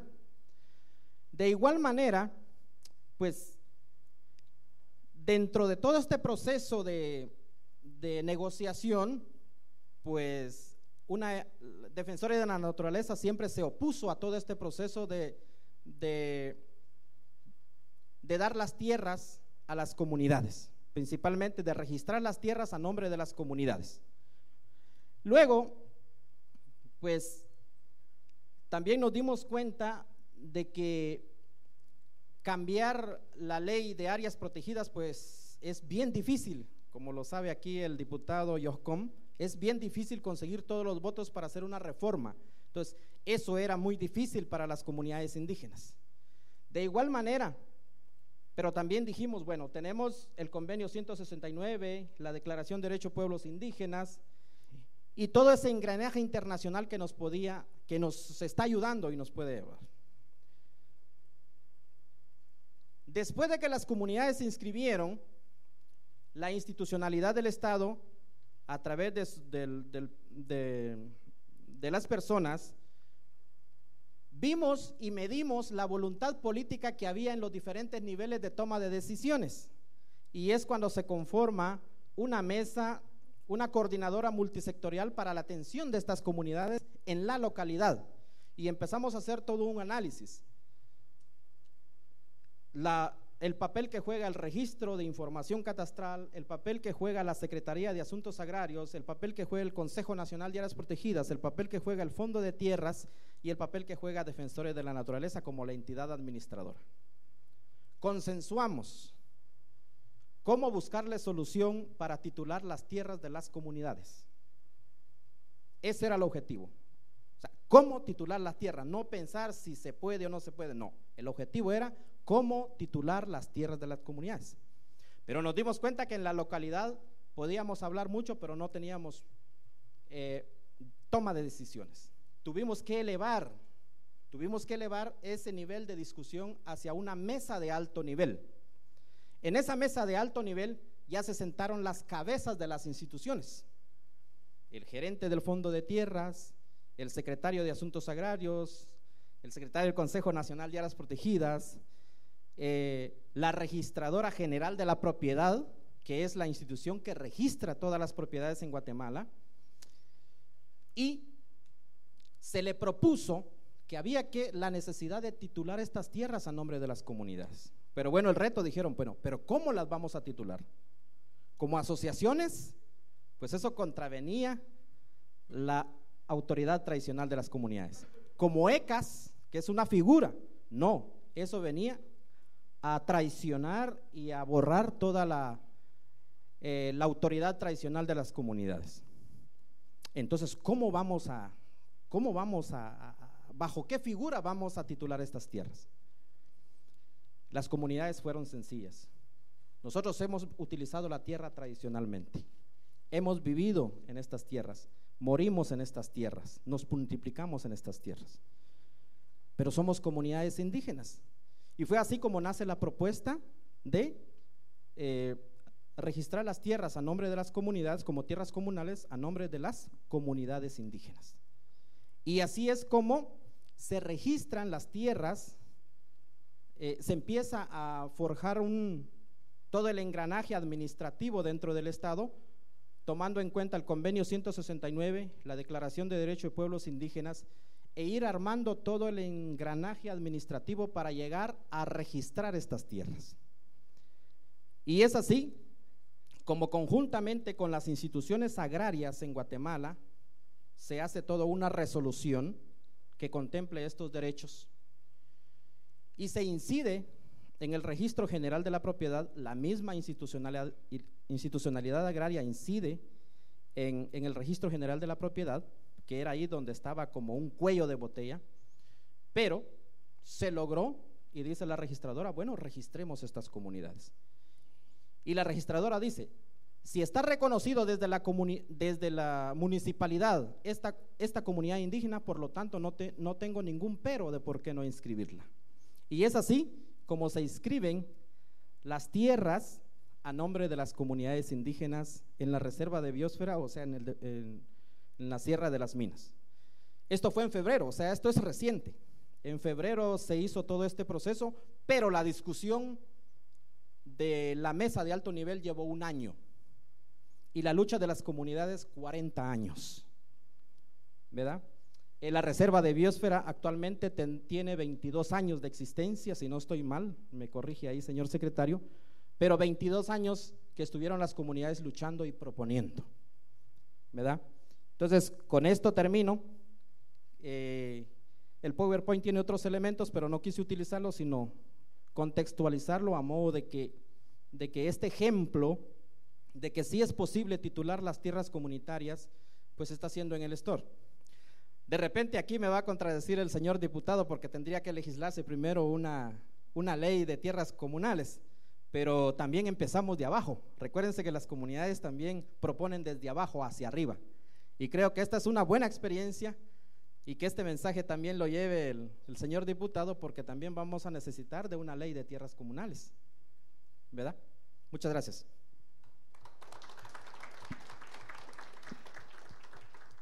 Muchísimas gracias, Adelso, y de manera muy especial por compartirnos esta experiencia y también por respetar los tiempos respectivos. Después de que nos ha compartido Adelso su experiencia con, con una propuesta eh, diseñada, organizada y pensada desde las organizaciones de base para poder eh, enfrentar los desafíos que plantea tanto la gestión de su territorio como las amenazas asociadas que están eh, expuestas en esta región. Quiero invitar al hermano eh, Rogelio Montezuma de la coordinadora para que nos comparta su experiencia. Otro territorio en, Panamá también fuertemente presionado en los últimos años por la expansión de la industria extractiva. Sí, buenas tardes a los facilitadores, organizadores de este evento. Eh, es un honor en el día de hoy poder compartir nuestra experiencia como uno de los grupos étnicos, el caso específico Nuevo eh, como primer antecedente, de manera muy rápida y vista del tiempo que tenemos, podemos eh, decir lo siguiente, la comarca en se crea mediante la ley 10 del 7 de marzo de 1997, después de décadas de luchas para la exigencia a diferentes gobiernos, se realizan movilizaciones masivas a nivel local, a nivel regional, a nivel nacional, y la solidaridad de los organismos en el país y a su vez también en la Asamblea Nacional y se logra este derecho y el reconocimiento como lo establece la legislación nacional de la República de Panamá. Eh, nuestras comarcas está dividido en tres grandes regiones, como lo ven en, la diapositiva, está reconocido como el nombre de región Edrit, región Codri y región Yocribo, todos con nombre netamente nativo del pueblo. A su vez también la comarca Noble tiene una población de 156.747 habitantes, según el último censo de población de 2010. Tiene eh, 6.968 kilómetros cuadrados, que representa el 8.8% de la superficie del territorio. Tiene siete distritos comarcales, 58 corregimientos. dentro de la ley 10 se reconoce a la autoridad oficial y tradicional. Aquí la autoridad oficial podemos mencionar el gobernador comarcal, tenemos tres diputados en las repúblicas, siete alcaldes municipales, 58 representantes de corregimiento. También como autoridades tradicionales, en estos casos tenemos al Congreso General, tenemos tres congresos regionales, siete congresos locales. De la misma forma, tenemos autoridades tradicional que se conoce como cacique general, que para muchos de los que están acá, a lo mejor lo he escuchado mencionar, en este momento, las primeras damas que tenemos, que nos representa como cacique general, una señora que se llama Silvia Carrera, y también hay tres caciques regionales y siete caciques locales. Eh, en el 2011 se llevamos a cabo, se realizó una manifestación masiva a nivel nacional, en donde tuvimos víctimas, en estos casos muertos, heridos, detenciones, y el gobierno para este momento entonces acepta establecer el acuerdo del 27 de febrero de 2011, el primer acuerdo, en donde después de, mediante la Asamblea Nacional, haber reformado el Código Minero, el gobierno, con la movilización del, del pueblo de la comarca, acepta derogar la ley 8. Y en ese acuerdo también entonces nosotros, la población OVE, exige una ley especial que prueba explícitamente la minería en la comarca en Ogle. Para nosotros, el pueblo Ove, hemos considerado como una de las segundas conquistas más importantes del pueblo Ove. Eh, el gobierno reforma, ya casi eso me referí, eh, para,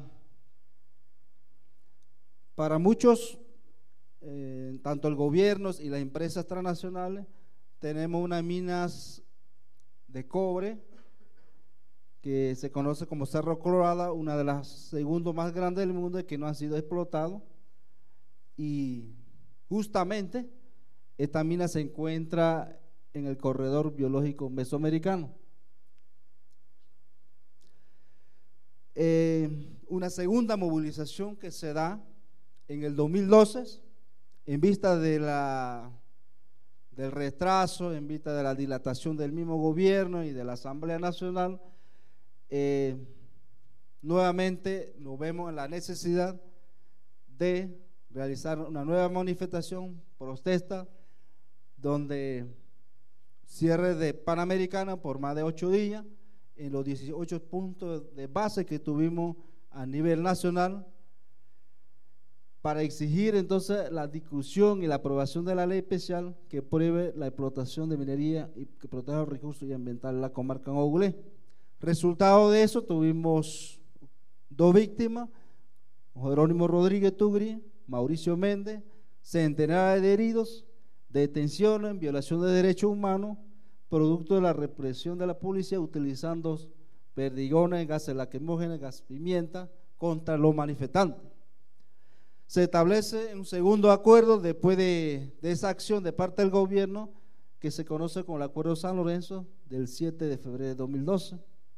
Se instala entonces la mesa de diálogo para la discusión de la ley especial que prohíbe la minería en la comarca en Aulé en la Asamblea Nacional. Eh, el 15 de marzo se establece otro acuerdo en la ciudad de en la 1, ciudad de Panamá, en donde se establecieron varios puntos para dar seguimiento, como el caso que sigue en conflicto la hidroeléctrica de Barro Blanco, que incide en las 6.8 hectáreas en la área anexa de la comarca Nove, en donde para nosotros, a nuestro juicio, no se han cumplido con los procedimientos de la consulta, del consentimiento libre e informado apropiado en la comunidad afectada. Dado que eh, el gobierno y la empresa a quien se le dio la concesión eh, utilizaron otros vías en hacer foros, supuestos foros, pero afuera de la comunidad afectada en estos casos. en resumida, tenemos dentro del último acuerdo, se establecieron el tema de la hidroeléctrica de Tabasara 2, que también tiene cierta proporción incidencia en la área anexa. Tenemos la hidroeléctrica Chan 2, que queda en el área de, de Boca del Toro, que está ubicado exclusivamente en áreas indígenas, que hasta en este momento eh, no se ha delimitado como áreas de la comarca. Sin embargo, son, estas áreas son ocupadas por hermanos Nova. Tenemos la hidroeléctrica Chan G35, que es una hidroeléctrica que ya están terminadas, sin embargo, los problemas con las comunidades directamente afectadas han continuado de una u otra forma. Y también, como otro tema que también pudimos incluir, que era de preocupación, que eran territorios sin obra, es la venta ilegal de, de tierra que estaba en el área comarcal de Cusapín. Y como uno de los aspectos que logramos establecer también que se estableciera una, un plan de desarrollo de los pueblos originarios de Panamá, que, que en la misma constitución o la ley 10 también en su articulado le exige a los estados, sin embargo, pues en este caso, eh, muy pocos eh, interés ha tenido el mismo estado de, de establecer una política realmente dirigido para el desarrollo, para la verdadera integración a los pueblos originarios de Panamá. Para ir finalizando, ahí tenemos logro obtenido, que para nosotros ha sido de mayor impacto, eh, la aprobación de la ley 11 del 26 de marzo de 2012, que establece el régimen especial para la protección de los recursos minerales y de ambiental en la comarca en Oblé. Y también de las otras diligencias que hemos hecho las coordinadoras en coordinación con la comunidad, con las autoridades tradicionales, la visita del relator especial de asuntos indígenas, Jim el 20 de julio de 2012 a la comunidad afectada del proyecto hidrolítico Barro Blanco, en donde la misma comunidad afectada pudieron expresar su sentir, su de preocupación eh, con respecto a cómo se ha venido manejando el proyecto de mención. Por tanto, entonces, eh, eh, finalmente, en estos momentos, eh, mañana se le, se le estableció como fecha límite al gobierno, a las empresas, que retiraran su equipo del área, los compañeros instalaran su campamento de resistencia y debe estar en estos momentos preparándose mañana para qué acciones van a definir frente a este conflicto que no ha tenido su fin. No sabemos el futuro que vaya a tomar a partir de mañana. Eh, los hermanos han dicho que ellos van a dar su vida por río Tabasará. Hay una fotografía que le podemos mostrar ahí, donde estamos poniendo río Tabasará para represa de la hidroeléctrica Barro Blanco. Es el río que actualmente está siendo represada a pesar de la oposición y rechazo de la población. Ahí vemos una señora allá, al final con un niño ahí a la orilla del río. Y por último, aquí también una, en últimos fotografías podemos observar la marcha que se hizo en Panamá en el año 2013, no hace el año pasado, en referente a la, al cumplimiento del acuerdo firmado con el gobierno nacional. Entonces, muchas gracias por su atención y poder haber compartido con ustedes la lucha que hemos emprendido en Panamá.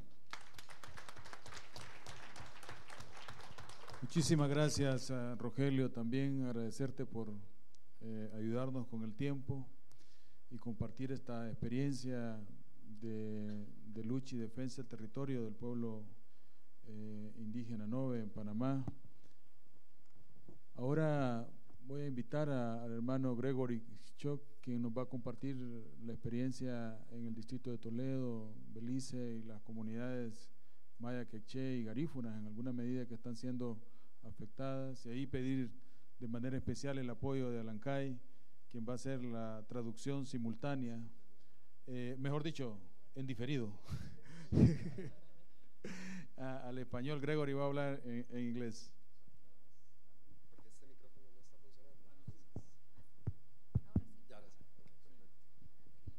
Thank you very much, Adalberto. With the audience permission, I prefer to go to the front. Muchas gracias, Adalberto, y prefiero eh, ponerme de pie aquí al frente del, de la mesa. I know everybody is extremely tired. I will try to be as quick as possible. Yo sé que todos están muy cansados y voy a tratar de hacer la presentación lo más rápido posible. All of us know that by in our respective countries, the governments create protected areas. But we also know that it's the very institution of government that undermines the integrity of these protected areas. Y bueno, todos nosotros sabemos que en nuestros países el- los gobiernos de- crean áreas protegidas, pero también sabemos que el- esta misma institucionalidad es la que muchas veces eh, socava estas mismas áreas protegidas. So the role of indigenous people then that reside around protected areas is, is to, to undertake a balancing act in the complexity that emerge when government begins to undermine the integrity of protected areas. Y el rol de los pueblos indígenas alrededor de estas áreas protegidas es de tratar de lograr un balance en, en el marco de toda esta complejidad de las acciones, de cómo pueden ayudar a, a proteger el, el ambiente. For the, for the, for the context, uh, in Belize, I think ma- many of you uh, um, are aware that over the last 15 years, the Mayan communities have been engaged in battle, legal battle with the government as a result of, uh, it's nothing new, uh, government granting concessions on indigenous territories and uh, protected areas. Y bueno, para dar un poco del contexto de Belice, eh, algunos de ustedes pueden estar al tanto de que en los últimos 15 años eh, la comunidad maya o el pueblo maya de Belice ha estado en una batalla, una lucha mm, eh, de carácter legal en contra del Estado por las concesiones que ha hecho de exploración petrolera y también el establecimiento de áreas protegidas. Today, I want to focus on uh, the petroleum contracts that the government grant in Belize. Y el día de hoy me quiero enfocar en los contratos de petróleo que el, go- el gobierno de Belice ha otorgado. I also want to give a historical background, the accomplishment we have made, and uh, I list here all the landmark achievement that we have gained over the last 15 years. Y también quiero dar un contexto histórico de los logros que hemos tenido en, en Belice. Y aquí en pantalla tenemos eh, como la fecha de los hitos o de los momentos más importantes de los logros que hemos tenido. Um, if you want to translate. Ah, bueno, le- les traduzco lo que está en pantalla. En el 2004, eh, SATIM, en, en representación de las comunidades indígenas, eh, logró un acuerdo de comanejo con el gobierno de Belice. En el 2006 eh, fue un caso de, de litigio. Eh, SATIM lo que hizo fue eh, demandar, digamos, una decisión del, del gobierno de dar permisos eh, de carácter como de exploración sísmica a la empresa Capital Energía de, de Estados Unidos y mm, este permiso fue, digamos, se lo, lo lograron detener en la Corte Suprema de Belice. En el 2007 también un caso de litigio, el caso de, de los derechos territoriales del, del pueblo maya, la Corte Suprema de Belice afirmó el derecho consuetudinario, el título consuetudinario para dos comunidades, la de Conejo y Santa Cruz. En, en- entre el 2008 y el 2010, que también es un litigio, el caso de, de los derechos territoriales del pueblo maya, la Corte Suprema de Belice también afirmó el, derecho de- al título consuetudinario de todas las comunidades mayas. Y en el 2013, eh, Belice, eh, bueno, el, la Corte de Apelaciones eh, mantuvo o sostuvo la, lo que fue la sentencia de la Corte Suprema de Justicia. When you look at these, you would think that everything is, is okay, but it is not. Y cuando vemos todo esto, ustedes pueden pensar de que todo está muy bien, pero no es así. We've talked about international law, and uh, we need to continue to utilize these instruments to advance our rights and interests in the context of these uh, threats from the government on our territories. Y bueno, hablamos del derecho internacional y es muy importante que hagamos un trabajo constante por las amenazas que vienen de las acciones que los gobiernos están eh, tomando todo el tiempo. In Belize, in most of the litigations that we have undertaken, we have utilized uh, some of these international legal instruments because all of them have relevance for the application of uh, indigenous, uh, the rights of indigenous people. Y en el caso de Belice hemos utilizado los siguientes instrumentos eh, que constantemente los diferentes litigios que reconocen los derechos de los pueblos indígenas. Eh, shall, shall I read the- Yeah. Okay. El, uno es la Declaración Universal de Derechos Humanos, el otro el Pacto Internacional de Derechos Económicos, Sociales y Culturales, el Pacto Internacional de Derechos Civiles y Políticos, los, eh, las convenciones de la Organización Internacional del Trabajo y la Declaración de Naciones Unidas sobre los Derechos de los Pueblos Indígenas, específicamente hacen referencia al artículo 32, párrafo 2. So we used all of these in, in our advocacy within uh, the, the, the Supreme Court. Y estos los usamos, estos instrumentos los usamos en el trabajo que hacemos en, bueno, en los litigios que se llevan en la Corte Suprema. We also used um, our constitution. And uh, as a result of the landmark judgment, we now have additional laws passed by the Supreme Court of Belize. And uh, if you looked at the letter D, and ordered by the Supreme Court to to uh, the government of Belize to cease and desist uh, activities on indigenous territories. Y bueno, uno de los instrumentos que también utilizan es la Constitución de Belice. Y el caso, el- la sentencia que hubo de la Corte Suprema en el 2007 también ha generado como legislación en, en Belice.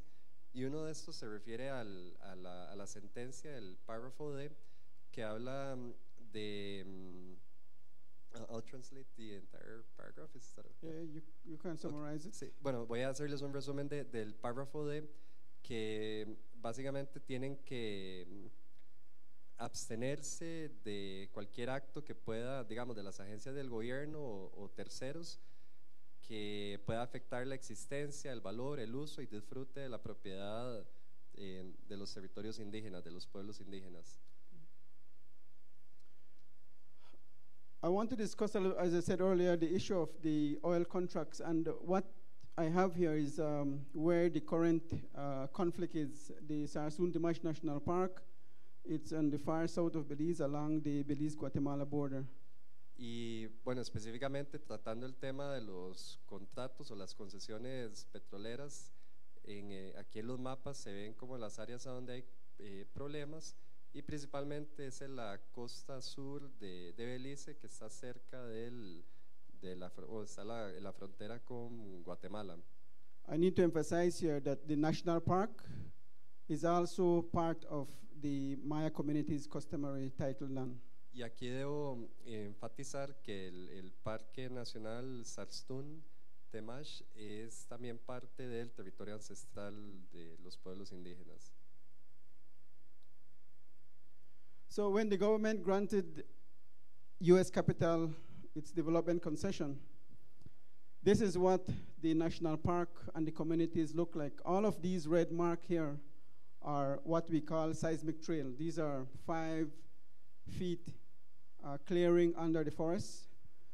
They've cleared about at least 200 miles inside the forest and uh, inside the park and on the terri- uh, also on land that where the community resides.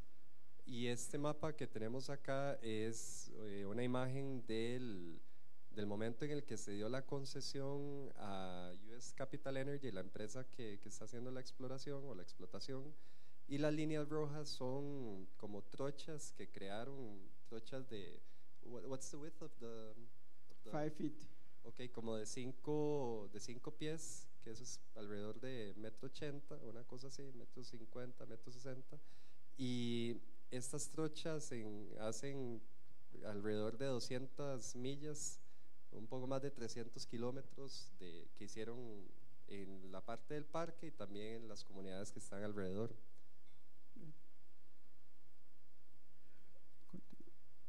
So, as I said, they cleared 200 miles of seismic trail, and the, the national park contains 13 ecosystems. Y como les decía, hicieron más de 200 millas de, de estos caminos eh, sísmicos y mm, en esta zona tiene como 12 ecosistemas diferentes. And this is, these are some of what the trails look like. Y esas son imágenes de lo que se ven estos caminos o esas trochas que crearon. These las are the trails, sísmicas. 200 miles that crisscross the territories of the communities. Y estos son, en total son 200 millas de ese tipo de caminos que cruzan tanto el parque como las comunidades alrededor. How does this impact the biodiversity of the park that we try to protect by virtue of establishing? ¿Y cómo afecta esto la diversidad biológica en el parque que por el propósito por el cual fue creado el, el- el parque? These trails have become the highways for illegal logging. Estos caminos se, se convirtieron como en caminos o en, eh, o en autopistas para el- la tala ilegal. We try to patrol with the leaders of the community, but patrolling 200 miles of wetlands and uh, forest is, is a huge undertaking. Y hemos tratado de hacer un patrullaje en, en esa zona con los líderes de las comunidades, pero como se pueden imaginar, patrullar más de 200 millas en, en humedales es un- una tarea muy difícil. The company also caused for 250 acres of an unique ecosystem to be burnt in the park. Y, y la compañía también generó un incendio de 250 acres en un ecosistema único en esa zona. What are we trying to do in uh, the community trying to do in response to this? What so far they have done is to organize and uh, sign resolution to reaffirm that their position with respect to the government's uh, issuance of contract to U.S. Capital Energy. Y lo que la comunidad, la respuesta de la comunidad ha sido organizarse, emitir una resolución a donde reafirman la posición que tienen en contra de estas, de lo que está sucediendo. And this is a copy of the resolution from one of the communities. All of the, the, the community members signed that resolution. Y esta es una imagen de una de las resoluciones en una de las comunidades donde todos los miembros de la comunidad la firmaron, apoyándola. In January 2013, that's last year, the government issued environmental clearance, clearance to U.S. Capital Energy. And if you look here, there are five wells that they propose to drill. Two of them inside the park, one outside the territory of the communities. Y el, en enero del 2013, el, el gobierno de Belice dio un visto bueno o, o dio el permiso para que la, la empresa hiciera um, cinco pozos. Como pueden ver, algunos pozos están, den- los puntos rojos están dentro del parque y otros están afuera de las comunidades. As a result of that, in July 2013, um, we filed a lawsuit against the government and all the parties uh, associated with the granting of the permit to U.S. Capital Energy. Y como resultado de este permiso que dio el gobierno, el- en julio, el 23 de julio, se hizo, se presentó una demanda en contra del gobierno y todas las partes que estuvieron involucradas en, en otorgar estos permisos. As a result of that, the government revoked our co-management agreement. Y como resultado de esto, entonces el gobierno revocó el, el acuerdo de comanejo que tenían del área protegida. I want to highlight two of the grounds on which we filed the lawsuit. One of it is the, that the environmental compliance plan is in violation or contrary to the National Parks Act. And the second, that the environmental compliance plan violates the rights of the indigenous communities as the landowners, as, as uh, uh, declared by the, by the Supreme Court of Belize, that their rights to free, prime, informed consent has been violated. Y en ese sentido, bueno, la- los fundamentos de la demanda que pusieron, eh, los dos principales, uno es que el- el plan, digamos, de cumplimiento ambiental que se le dio a US Capital, la compañía, eh, contraviene lo que establece el acta de, de, parques nacionales, del sistema de parques nacionales.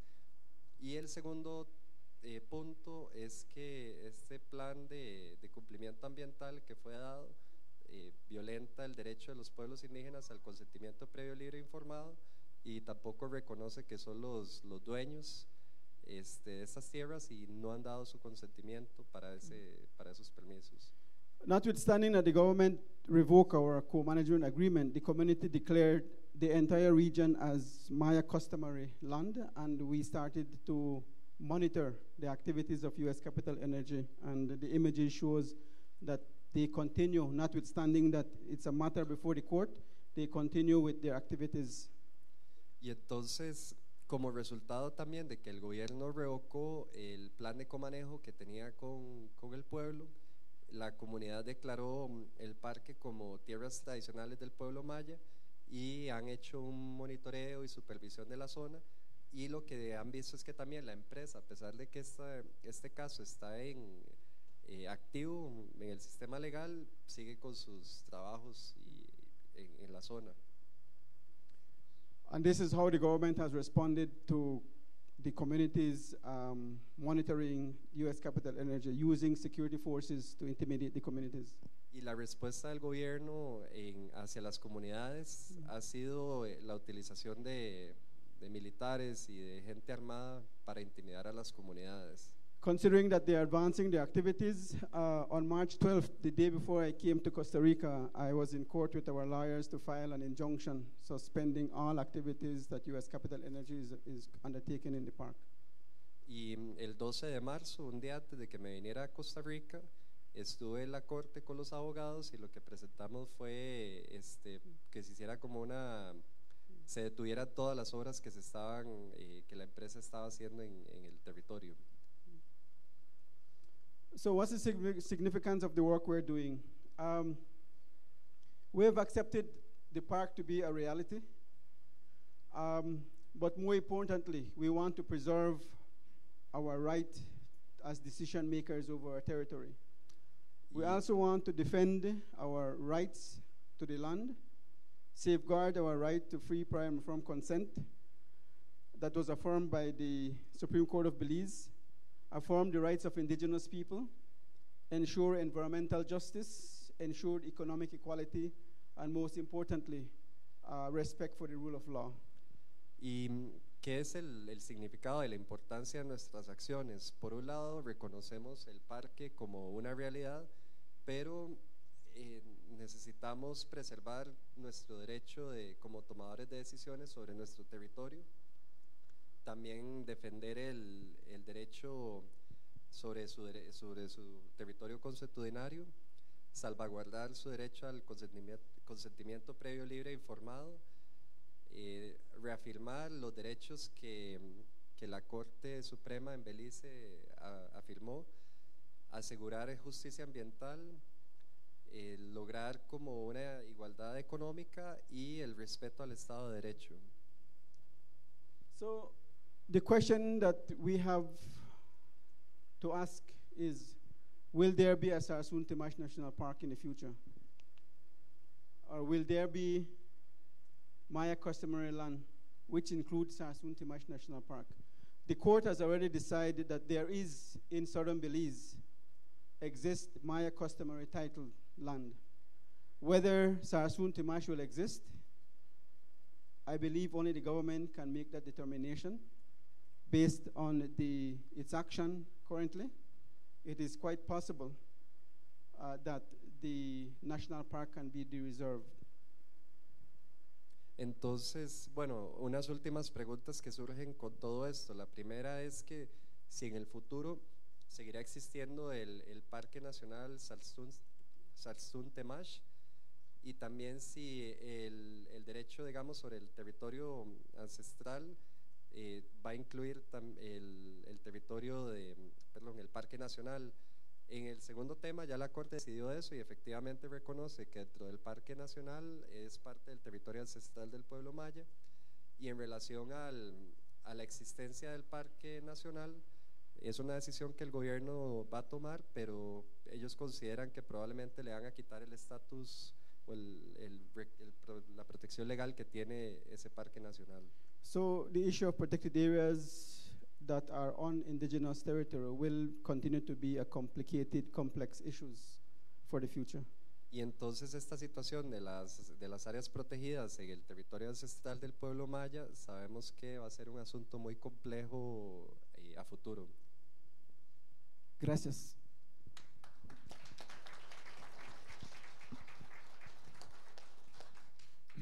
Luego de haber escuchado las tres experiencias, cada una con sus particularidades, eh, donde uno puede destacar diferencias sustantivas en cuanto a lo que han sido las estrategias que desde las organizaciones territoriales han impulsado.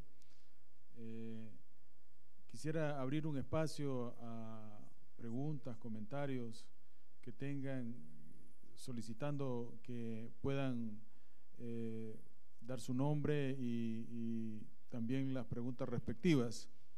Si me pueden ayudar ahí para facilitar el micrófono, si hay alguien que quiera hacer un aporte o pregunta dirigida a alguno de los panelistas.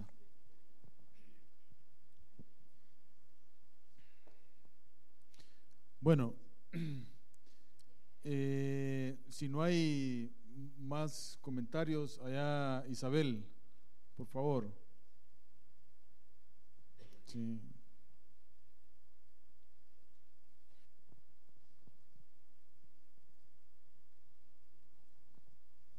Eh, muchas gracias. Me parece interesante las exposiciones, tanto las anteriores como ahorita, y yo creo que hay elementos interesantes que habría que tomarlos en cuenta, ¿verdad? Incluso con lo que ya se había presentado anteriormente en cuanto a estatuto, estrategias, planes de, de este espacio y de las redes que existen. Eh, tengo algunas preguntas incluso relacionada con reflexiones anteriores, porque el compañero de Salvador anteriormente nos dejaba una reflexión en cuanto a la titulación de las tierras, ¿verdad? Y un poco con la experiencia guatemalteca, lo que compartía ahí el compañero de la Defensoría Quechí, que también hay una experiencia ahí en Chisac, ¿verdad?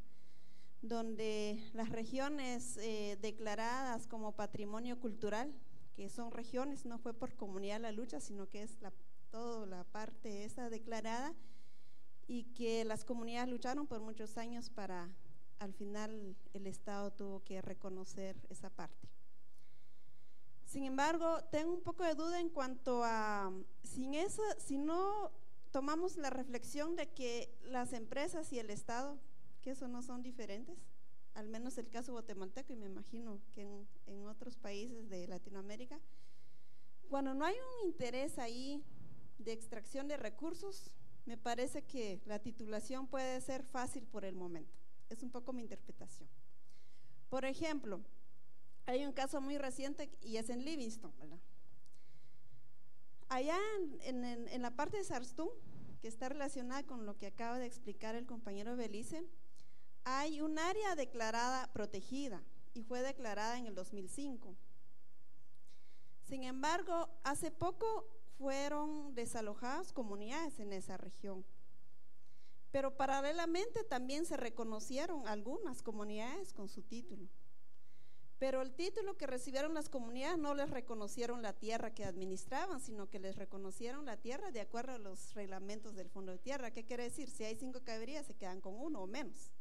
Y lo demás queda en, concesión de alguna ONG, en este caso que es Fundaeco, ¿verdad? Y en, coordinación con CONAP. Ahí, por más que haya intervenido algunos diputados, de que la, se reconoció que ahí hay traslape, incluso con propiedad privada, el tema área protegida, de todas formas CONAP sostuvo que ahí no existe esa comunidad, desconoció a la comunidad indígena. Eh, como dos meses después, bueno, eso fue en febrero, como el mes de marzo se empieza a abrir el pozo petrolero, que es la compañía eh, petrolera del Atlántico. Si vamos a noticias, empezamos a ver que nadie se opuso, ni CONAP ni Fundaeco. Y cuando hablo de Fundaeco, porque es la institución que está allá, la ONG que está allá, y en este lado, en el Polochek, pues ya hablaba ahí el compañero qué institución está ahí. No aparece nada, ¿verdad? Y recientemente yo estaba leyendo unas, unas revistas y ahí aparece Fundaeco diciendo de que ellos no se iban a oponer al petróleo porque es algo que, que no hace daño al medio ambiente. A pesar que la misma CONAP ha hecho estudios sobre los impactos negativos que tiene el, petróleo. Entonces, la pregunta específica es sobre la titulación, ¿verdad? Porque si se recuerdan y si no sé si han visto también otras, eh, otros análisis que allá en Petén, ha sido un instrumento incluso de la forma como en pocos años la gente va perdiendo su tierra. ¿Qué quiere decir eso? Que las empresas ya no pelean con la comunidad, sino que el título, compra obligada, bueno, lo que ya sabemos esa parte histórica. Esa es, es una, una cuestión, se me fueron las demás preguntas que iba a hacer. Em, ah, bueno, eh, yo pienso que otro de los temas que tenemos que retomar, y entiendo que aquí hay varias organizaciones indígenas o ONGs indígenas, tiene que ver con la visión que tenemos de las áreas protegidas. Porque muchas veces decimos las áreas protegidas o las comunidades indígenas dentro de las áreas protegidas allá algunas comunidades de Livingston dicen, no, son las áreas protegidas quienes llegaron sobre comunidades indígenas. Porque las comunidades indígenas hace años, su establecimiento, su vida, su represión, etcétera, y las áreas protegidas llegaron en 1989. Entonces, un poco de, manejo también de, de, nosotros, ¿verdad? Cuando intervenimos. Gracias. Muchísimas gracias, Isabel. Eh, Ahora sí, es tan amable en facilitarle ahí a Benedicto, al ingeniero Benedicto. Eh, solamente pediría así un favorcito, que sean intervenciones así puntuales y, más cortas, porfa. Sí, muchas gracias. Y bueno, de la mano de lo que eh, partíamos nosotros en la mañana, del tema del, de la propuesta, eh, Rommel exponía, Adelso Rommel exponía claramente el tema muy brevemente, obviamente tiene más detalles, más complejidades, que no fue un tema sencillo, aunque había, aunque hubo la voluntad política, porque vimos, nosotros como instituciones sabíamos que ellos tenían la oportunidad, no sabíamos que tenían los recursos necesarios, pero sí sabíamos que tenían la oportunidad de apelar, incluso de traerse abajo una reserva de biosfera Sierra de las Minas, que es una reserva de biosfera, es la reserva de biosfera más eh, eh, de mayor producción de agua a nivel de Centroamérica, porque abastece de agua a una tercera parte del territorio guatemalteco. Y está, o sea, tiene serias amenazas. Y cuando él dice, éramos del 5%, o sea, no le íbamos a hacer daño al Estado, ellos reconocieron una cuestión global. Entonces nosotros vimos eso desde un inicio como una oportunidad. Obviamente, alguna ONG por ahí, pues, no quería, ¿verdad? Pero pero nosotros sabíamos que como Estado, nosotros sí teníamos que actuar en esa forma.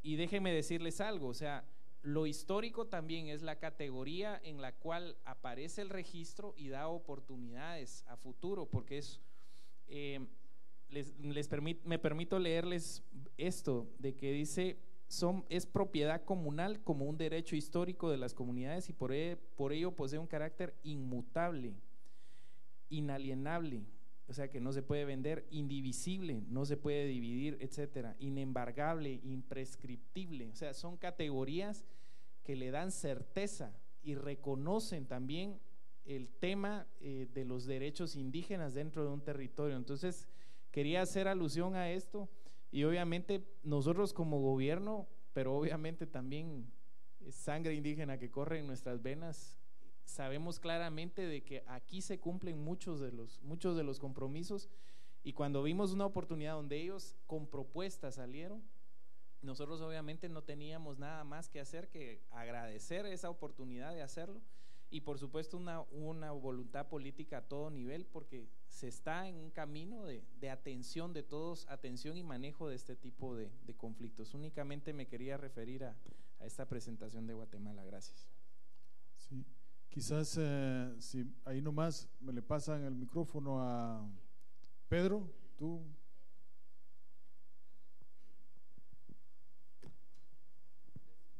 Eh. Buenas tardes, hermanos y hermanas de diferentes países que estamos aquí.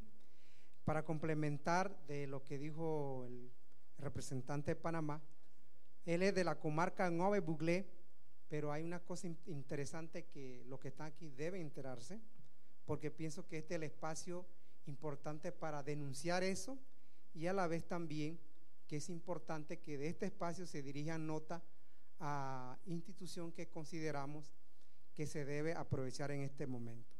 Uno es, eh, nosotros, yo vengo de un territorio, de una provincia que formamos parte del territorio Nove Buglé, pero el Estado nos fraccionó en comarcas, en tierras colectivas y en áreas no consideradas territorio Nove.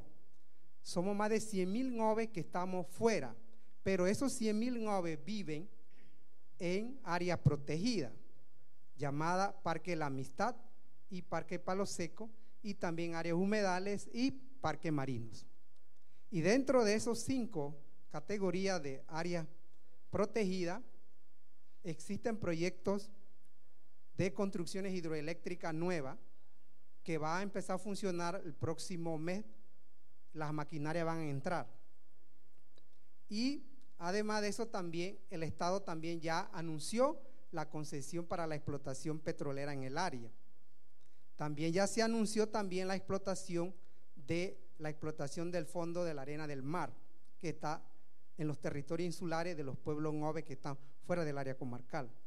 Además de eso también se anunció de eh, concesiones para depósito de materiales tecnológicos industrial que parte del territorio nove que estamos fuera de la comarca.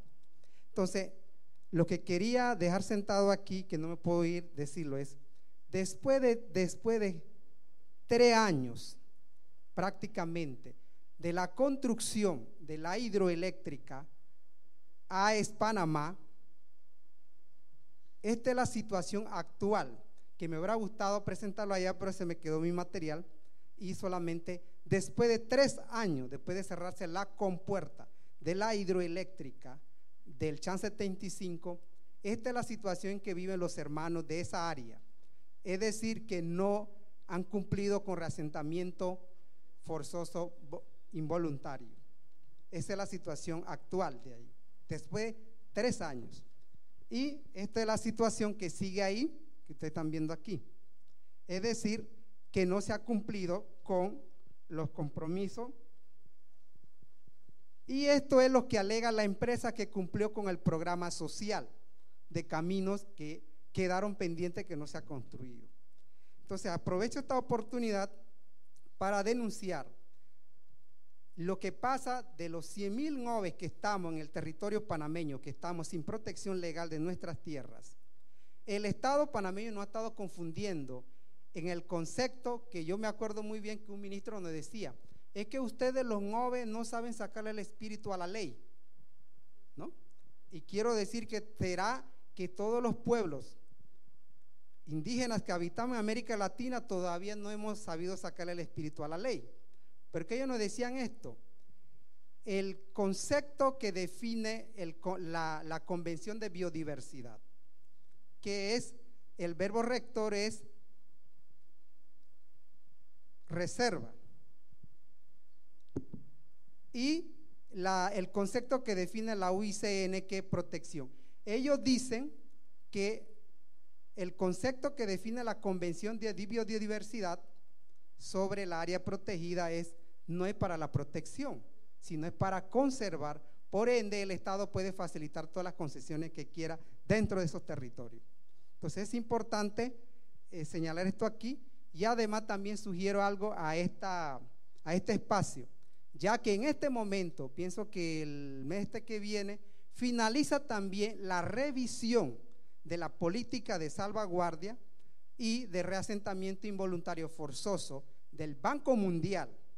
Entonces, qué es interesante que este espacio envíe una nota que final tan revisión de las políticas de desarrollo sobre los reasentamientos forzados en, en todos los territorios, creo que en el mundo, y que ha sido también modelo que ha recogido el Banco, el banco Multilateral.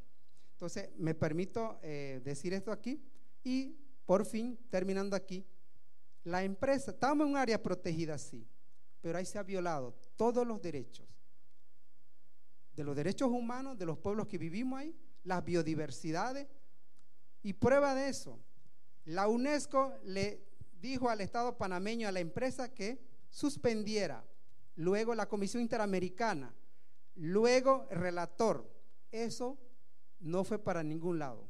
Así que muchas gracias por permitirme aquí compartir con ustedes. Muchísimas gracias. Vamos a cerrar aquí eh, este ciclo de, preguntas, a dar eh, un máximo de un minuto a cada uno de ustedes y después vamos a hacer un cierre final de este panel, agradeciendo todavía su paciencia para que podamos terminar satisfactoriamente esta discusión. Respondiendo a los a lo bueno ya el ingeniero Benedicto respondió a la compañera, pero también pensamos en esos candados. Porque realmente las comunidades durante 40 años resistieron a los ganaderos, a los madereros, últimamente a los palmeros, a los cañeros, a los narcos y a los ambientalistas. resistieron durante 40 años y entonces dijeron, bueno, pongamos candados a la tierra, pongamos candados a la protección.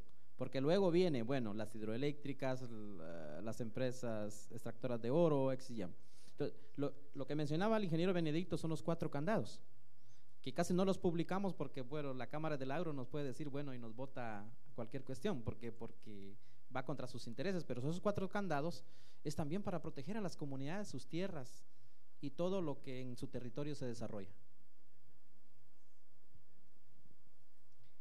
Eh, solamente me resta en decirle que, que los pueblos indígenas de la región han estado luchando por su sobrevivencia.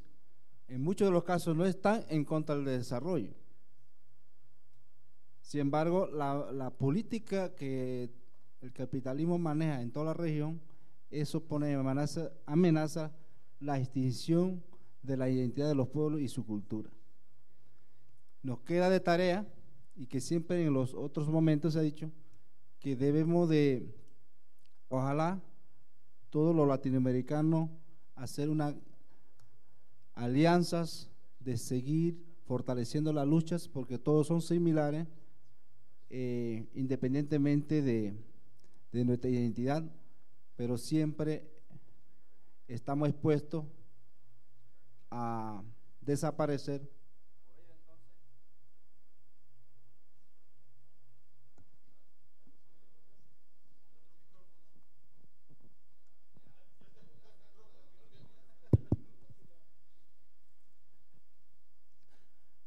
Por ello entonces eh, nos no resta en que a medida que unifiquemos a los pueblos, vamos a la solidaridad y la presencia y la participación directa y solo unidos vamos a poder lograr el respeto y el reconocimiento de derechos reconocidos en las normas nacionales e internacionales para los pueblos indígenas. Um, I just want to say that I think as indigenous people, we have to uh, engage in pragmatic, practical economic development and uh, capitalize on the opportunities that, that exist. I think that protesting for the purpose of protesting is not uh, accomplishing the, the defense uh, that we seek and the safeguard of our culture and land as we seek. Let us embrace development, but on our own terms, uh, with identity. Dice que los pueblos indígenas este, deben, a ver un momento, digamos, al ser como muy pragmáticos en, en, sus estrategias y no hacer como la protesta por la protesta, sino que deben visualizar qué oportunidades existen y que, por ejemplo, las oportunidades de, de, desarrollo se pueden acoger, pero adoptarlas de acuerdo a las aspiraciones de cada pueblo y respetando su identidad. Entonces, que tengan un desarrollo con identidad. Y muchas gracias.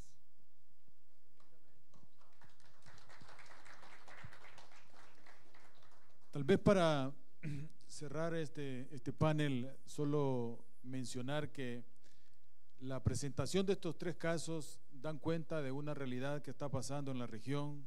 mesoamericana. Buena parte de los territorios indígenas eh, es conocido que ahí se localizan también importantes áreas todavía en estado de conservación y de una alta biodiversidad.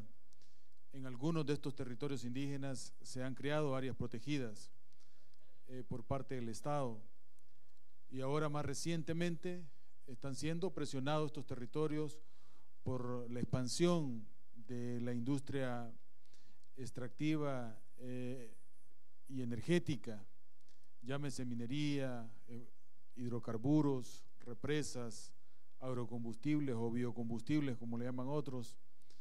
Y esto está generando niveles de tensión y disputa por la titularidad y acceso a esos recursos y la tierra. Y por supuesto está generando niveles más complejos en la gobernanza de estos territorios. Y creo que estos tres casos dan cuenta de cómo los pueblos indígenas, frente a esas amenazas externas, eh, están enfrentando estos desafíos. Por ejemplo, la Defensoría Quechí muy legítimamente eh, ha utilizado como parte de su estrategia la búsqueda de acuerdos, eh, negociación con las instituciones locales y otras instituciones de gobierno para alcanzar los objetivos que se han propuesto, que es en alguna medida el reconocimiento de las comunidades para poder avanzar en el proceso de reconocimiento de sus territorios comunales.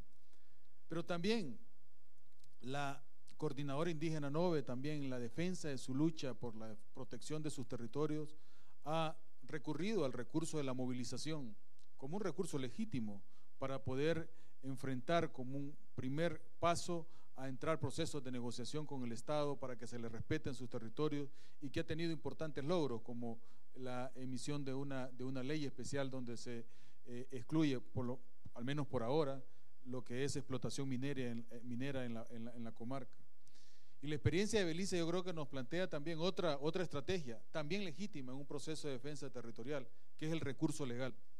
Han, han utilizado muy hábilmente los recursos legales en las cortes nacionales para poder, por un lado, garantizar el reconocimiento de sus derechos territoriales sobre la tierra, la propiedad colectiva, etcétera, pero también como una estrategia para ahora enfrentar la amenaza que conlleva la concesión petrolera que se ha entregado en el parque, que también es territorio eh, del pueblo eh, maya queché. Yo quiero que, todos realmente les eh, tributemos un fuerte aplauso aquí a los tres panelistas. Nos han aportado experiencias muy ricas y agradecerles a todos ustedes por la paciencia y esperamos que estos casos nos sirvan para seguir debatiendo en lo que viene la jornada de mañana de este precongreso.